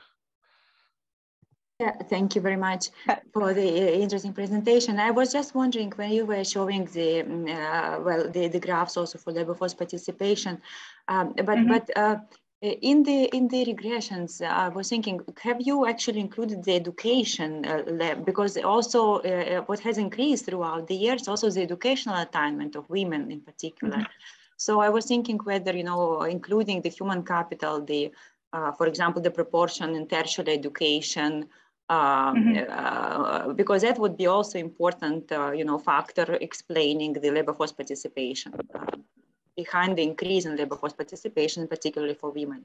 Thank you. Yeah, uh, thank you for your question and suggestion. So, so far we didn't, we have not increased the, uh, sorry, we haven't included the education level um, in this setting, but I think um, somehow this education change can be covered by the time fixed effect. Yeah, so, and also we, we hope to include maybe the different, the gender gaps in terms of education here. Yeah, mm -hmm. thank you. Right. I hope that answers your question. Yeah. Okay. Well, yes, a time effect, but uh, it's also country specific, right? Or region specific, yes. actually. So, yes. so the interaction may be um, mm -hmm. between the time and the, the region. Yes. Okay. Yeah. yeah thank you. Yeah. Yeah. Thank you. Uh, yeah. Just, yeah, yeah, just a short, yeah. short, short question on on your why variable the endogenous variable. You're looking, this is unemployment or is this labor force participation? Um, here, so we um, so we run a set of estimations on a set of dependent variables YIT here. But what I showed here today, due to time limits, I only show the relative female labor participation rate, which is the um, female labor participation rate uh, over the male labor participation rate. So it's the relative level of female labor participation rate in the oh, oh okay, but it also depends on, on on comparable. I mean, on comparable, you have to yeah. make uh, the you have to match the right people to the right people, which can be very challenging. Yes, I mean. Uh, because female, I mean, different jobs, different uh, work, working time, and so on.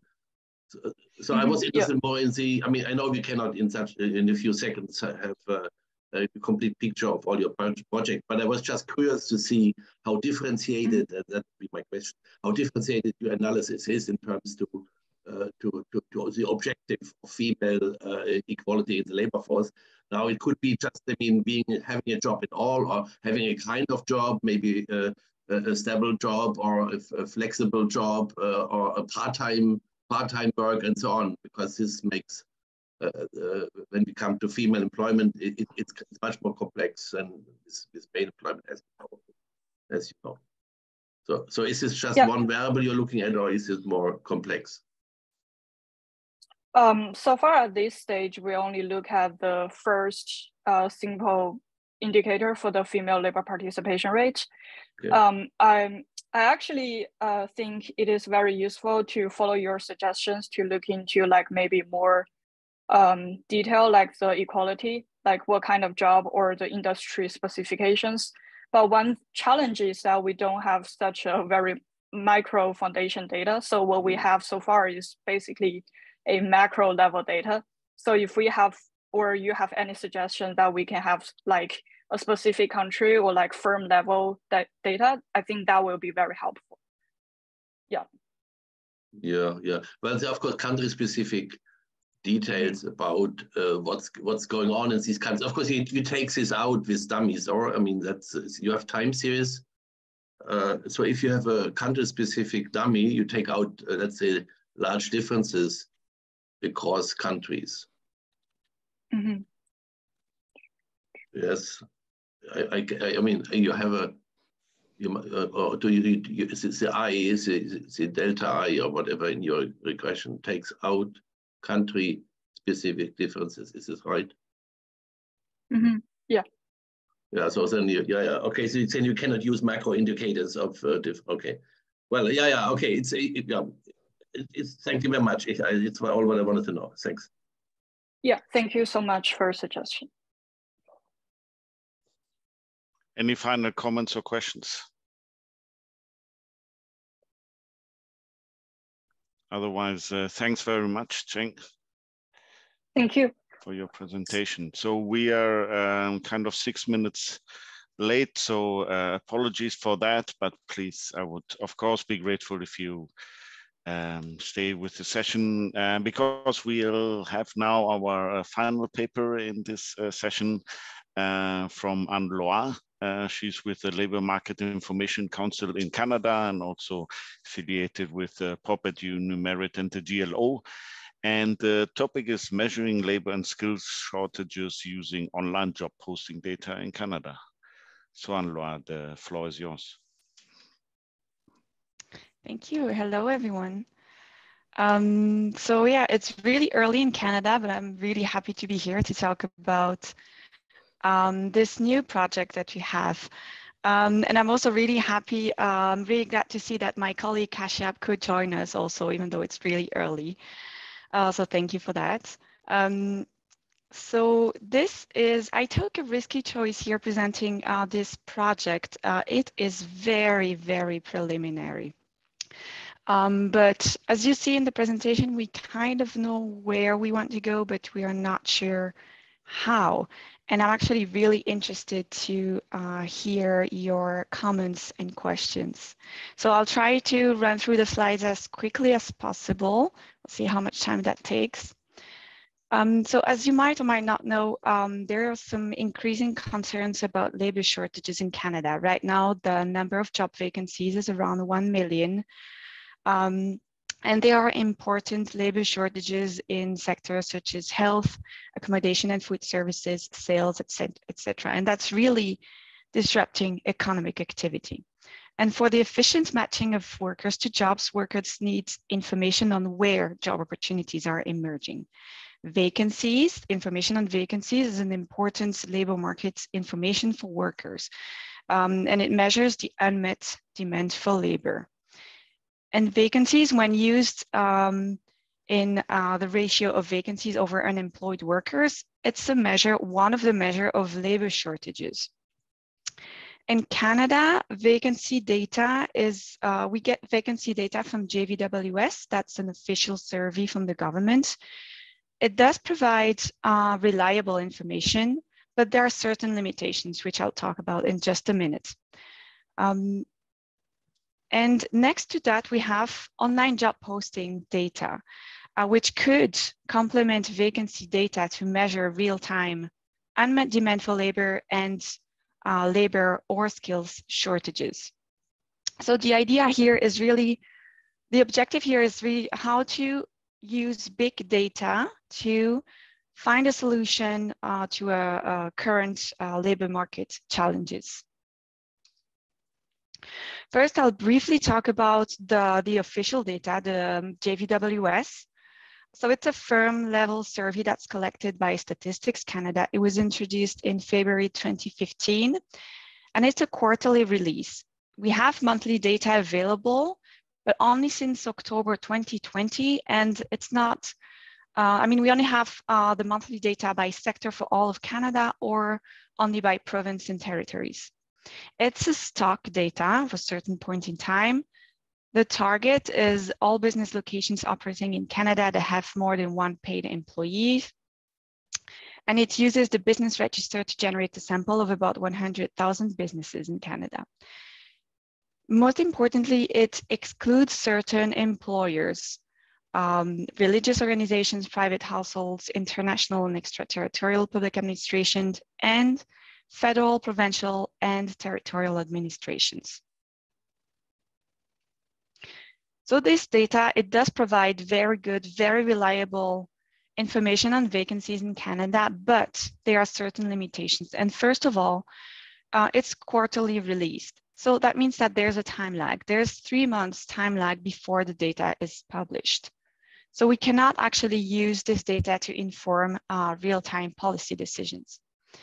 Second, um, well, it's a survey, it's a sample of um, minus than 10% of total number of employers. So this makes it impractical to study vacancies at very detailed uh, local or occupational level. Also because um, there's some um, data suppression because of confidentiality reasons. Then the JVWS data, it includes existing and anticipated job vacancies but anticipated vacancies might never materialize.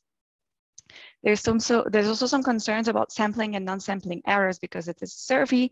And as I've mentioned, uh, federal, provincial, and territorial administration jobs are not included in the sample, which means that 5% of employment, uh, which is 5% of employment in Canada, that is not included uh, in this sample. Um, and these jobs also include a considerable number of management occupations. So this is creating a certain bias. Then we have um, our um, source of online job posting data, which is Vicinity Jobs. This is data that we buy uh, from this company. It's a big data analytics and internet search uh, Canadian company that uses natural language processing techniques to collect daily information on new online job postings from hundreds of French and English websites across Canada. It's available since January 2018. We receive approximately 200,000 new unique job postings uh, each month. So this means that this is a flow data. And we receive an update uh, weekly, but we have access to daily uh, information.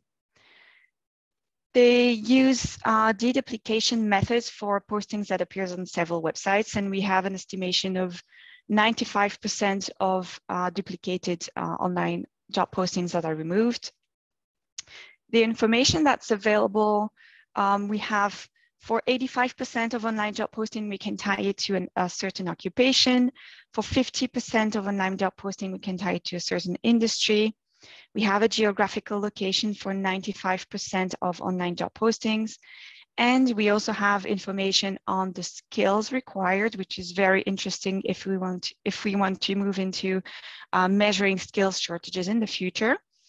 Uh, but this presentation is focused on labor shortages. Um, we also have information on education required, the job uh, type, the duration, the data source, uh, the experience required, the language of the posting, and also the uh, required language. So there are three main advantages of using online job postings um, as a proxy for vacancies. First, well, the data is near real time. We receive an um, weekly update, but we actually have access to uh, the daily information. The observations are also available for very small geographies. So we could uh, do this analysis at very small uh, geographical level, which is not possible with the official vacancy data.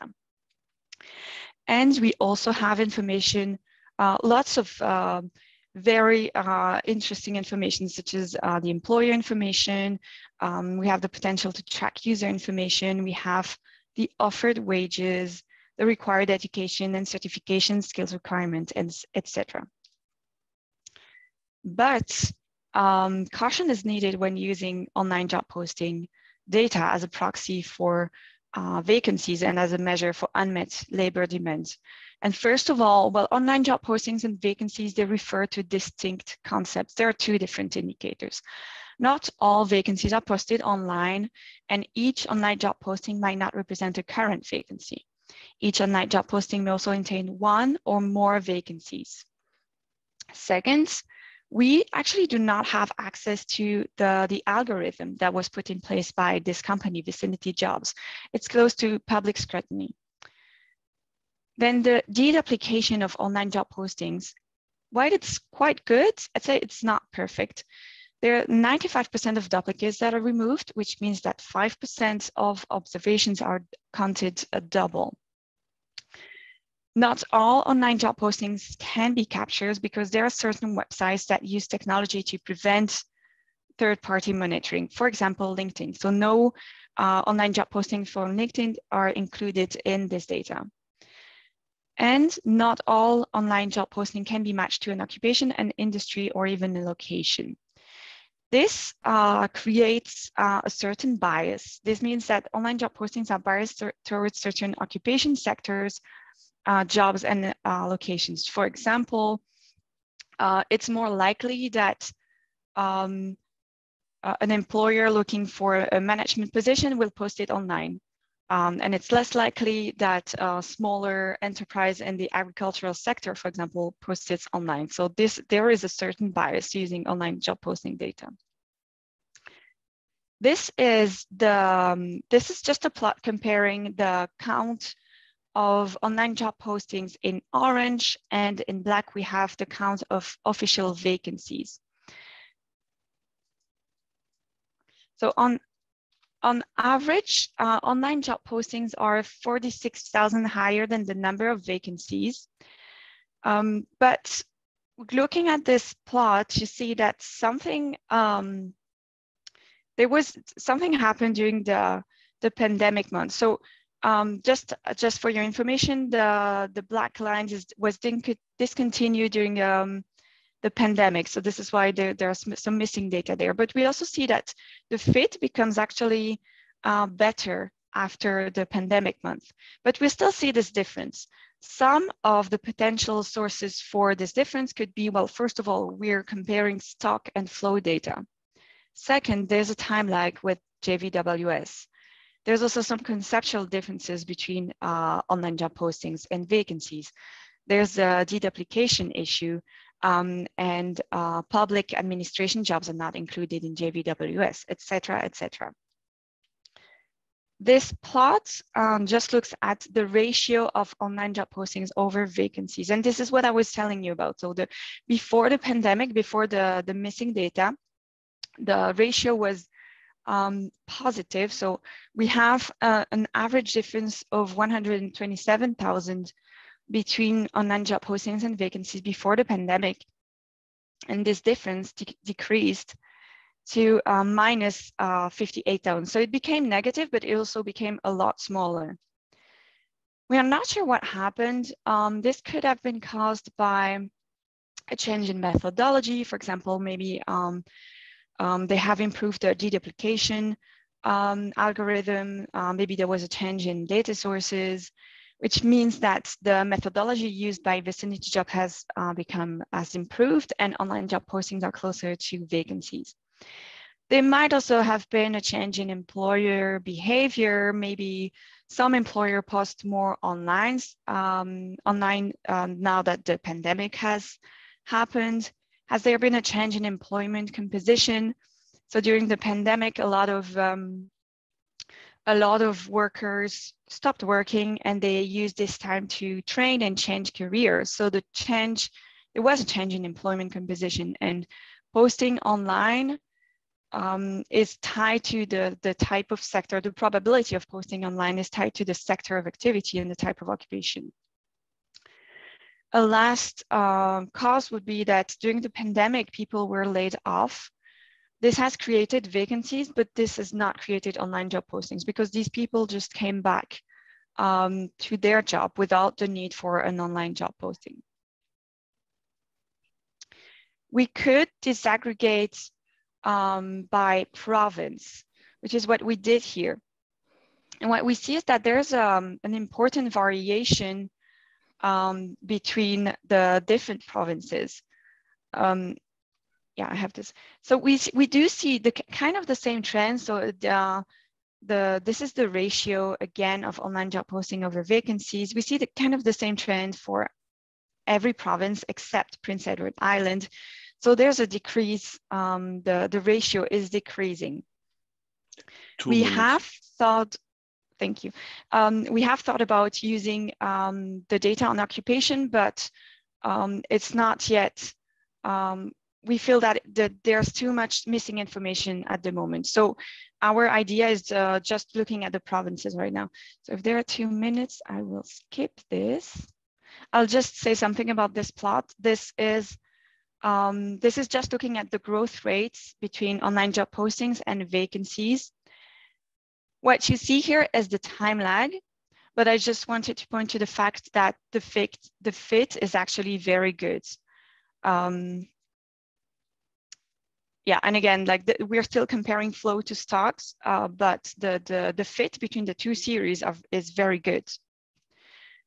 So finally, this is um, this is like the very, very initial idea that we have, and this is just us uh, throwing some ideas in the slides.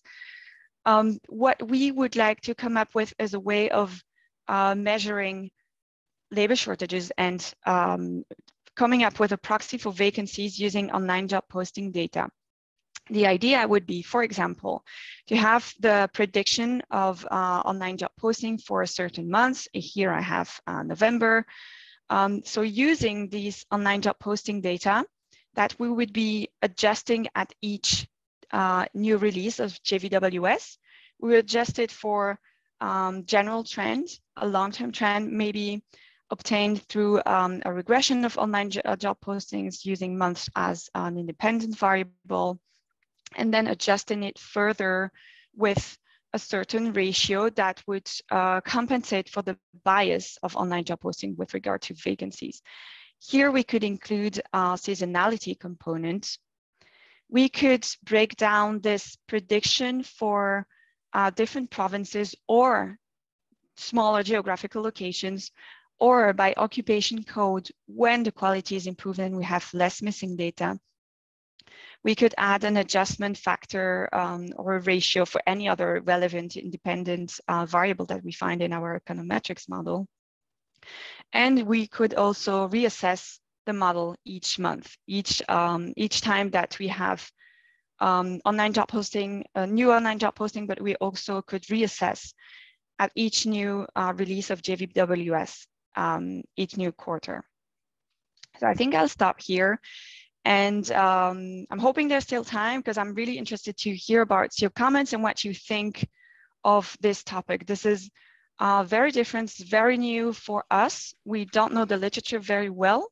Um, here I have two questions um, to, to kind of direct your comment, but uh, very happy to take any questions or comments that you have. Great, thanks a lot, Anne-Lore. So let's open the floor for questions, comments, or answers to these questions.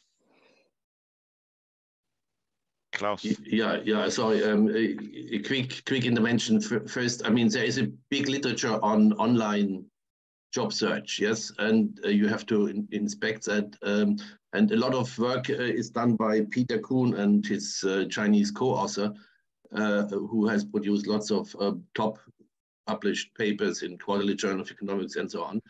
Um, so that's one, one maybe one indication.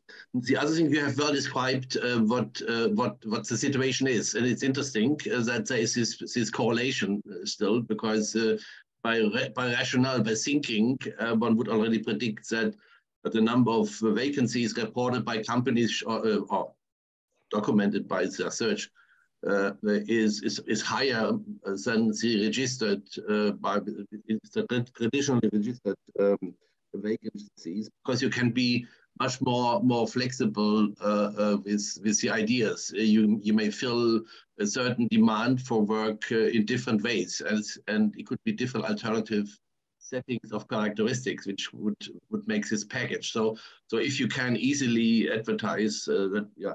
Okay if, if this is um, if this is uh, true then maybe a number of vacancies reported by company might be of interest to, to look at and also the diversity of uh, the jobs they are searching for as an indicator perhaps uh, to see uh, what is really behind that that would be my uh, initial, initial ideas. Good luck with this uh, challenging project.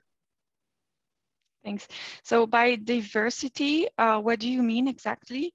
Wh whether you well, you can say I want a cleaning woman and a computer expert. Yes, that's very that's very diverse. Yes, um, but you can or uh, more job specific. I want somebody who says hello to the people who come in into the job, and the other is is is is, is showing how a machine works or something like that. Yes, uh, that would be it. Could be just one person doing both, and uh, uh, uh, uh so are this is a diversity of job jobs.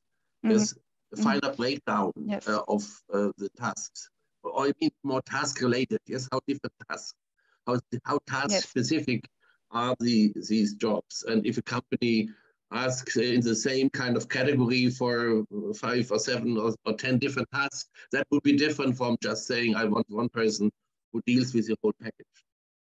Mm, yes.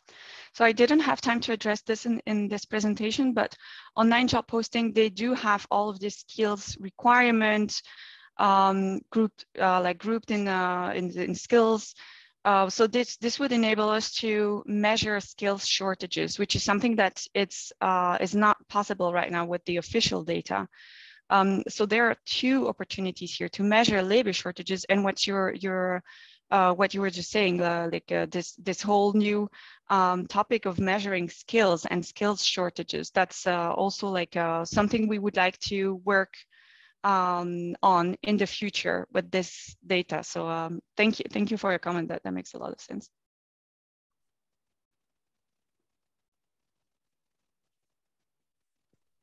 Any further comments, questions, suggestions from the participants?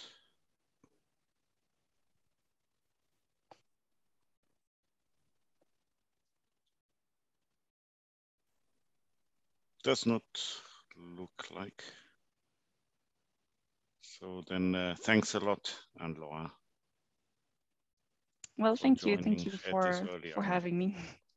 Sure. No problem. Great. I think um, this has been a very rich uh, uh, and uh, uh interesting, uh, interesting and also very stimulating session here at the uh, GLO Global Conference. As mentioned, um, we organized this session from POP, the Center um, for population development and labor economics at UNU Merit. And um, so I would like to, first of all, thank the uh, presenters very much for uh, your uh, really engaging uh, presentations uh, and for being here and uh, on a Saturday presenting your work. I think that has been very valuable to all the participants for all your comments and of course then um, to the GLO uh, different teams who have been organizing that uh, together with Klaus. Uh, thank you very much for that uh, opportunity. Yeah, thanks to, to Alessio and of course all the uh, presenters and uh, speakers. And um, well, I can also recommend the next session in half an hour will will deal with, China in the world. it will be very a very fascinating session also like this one. So I enjoyed and I learned a lot and uh, thank you very much for coming and uh, let me close uh, the recording. Thanks.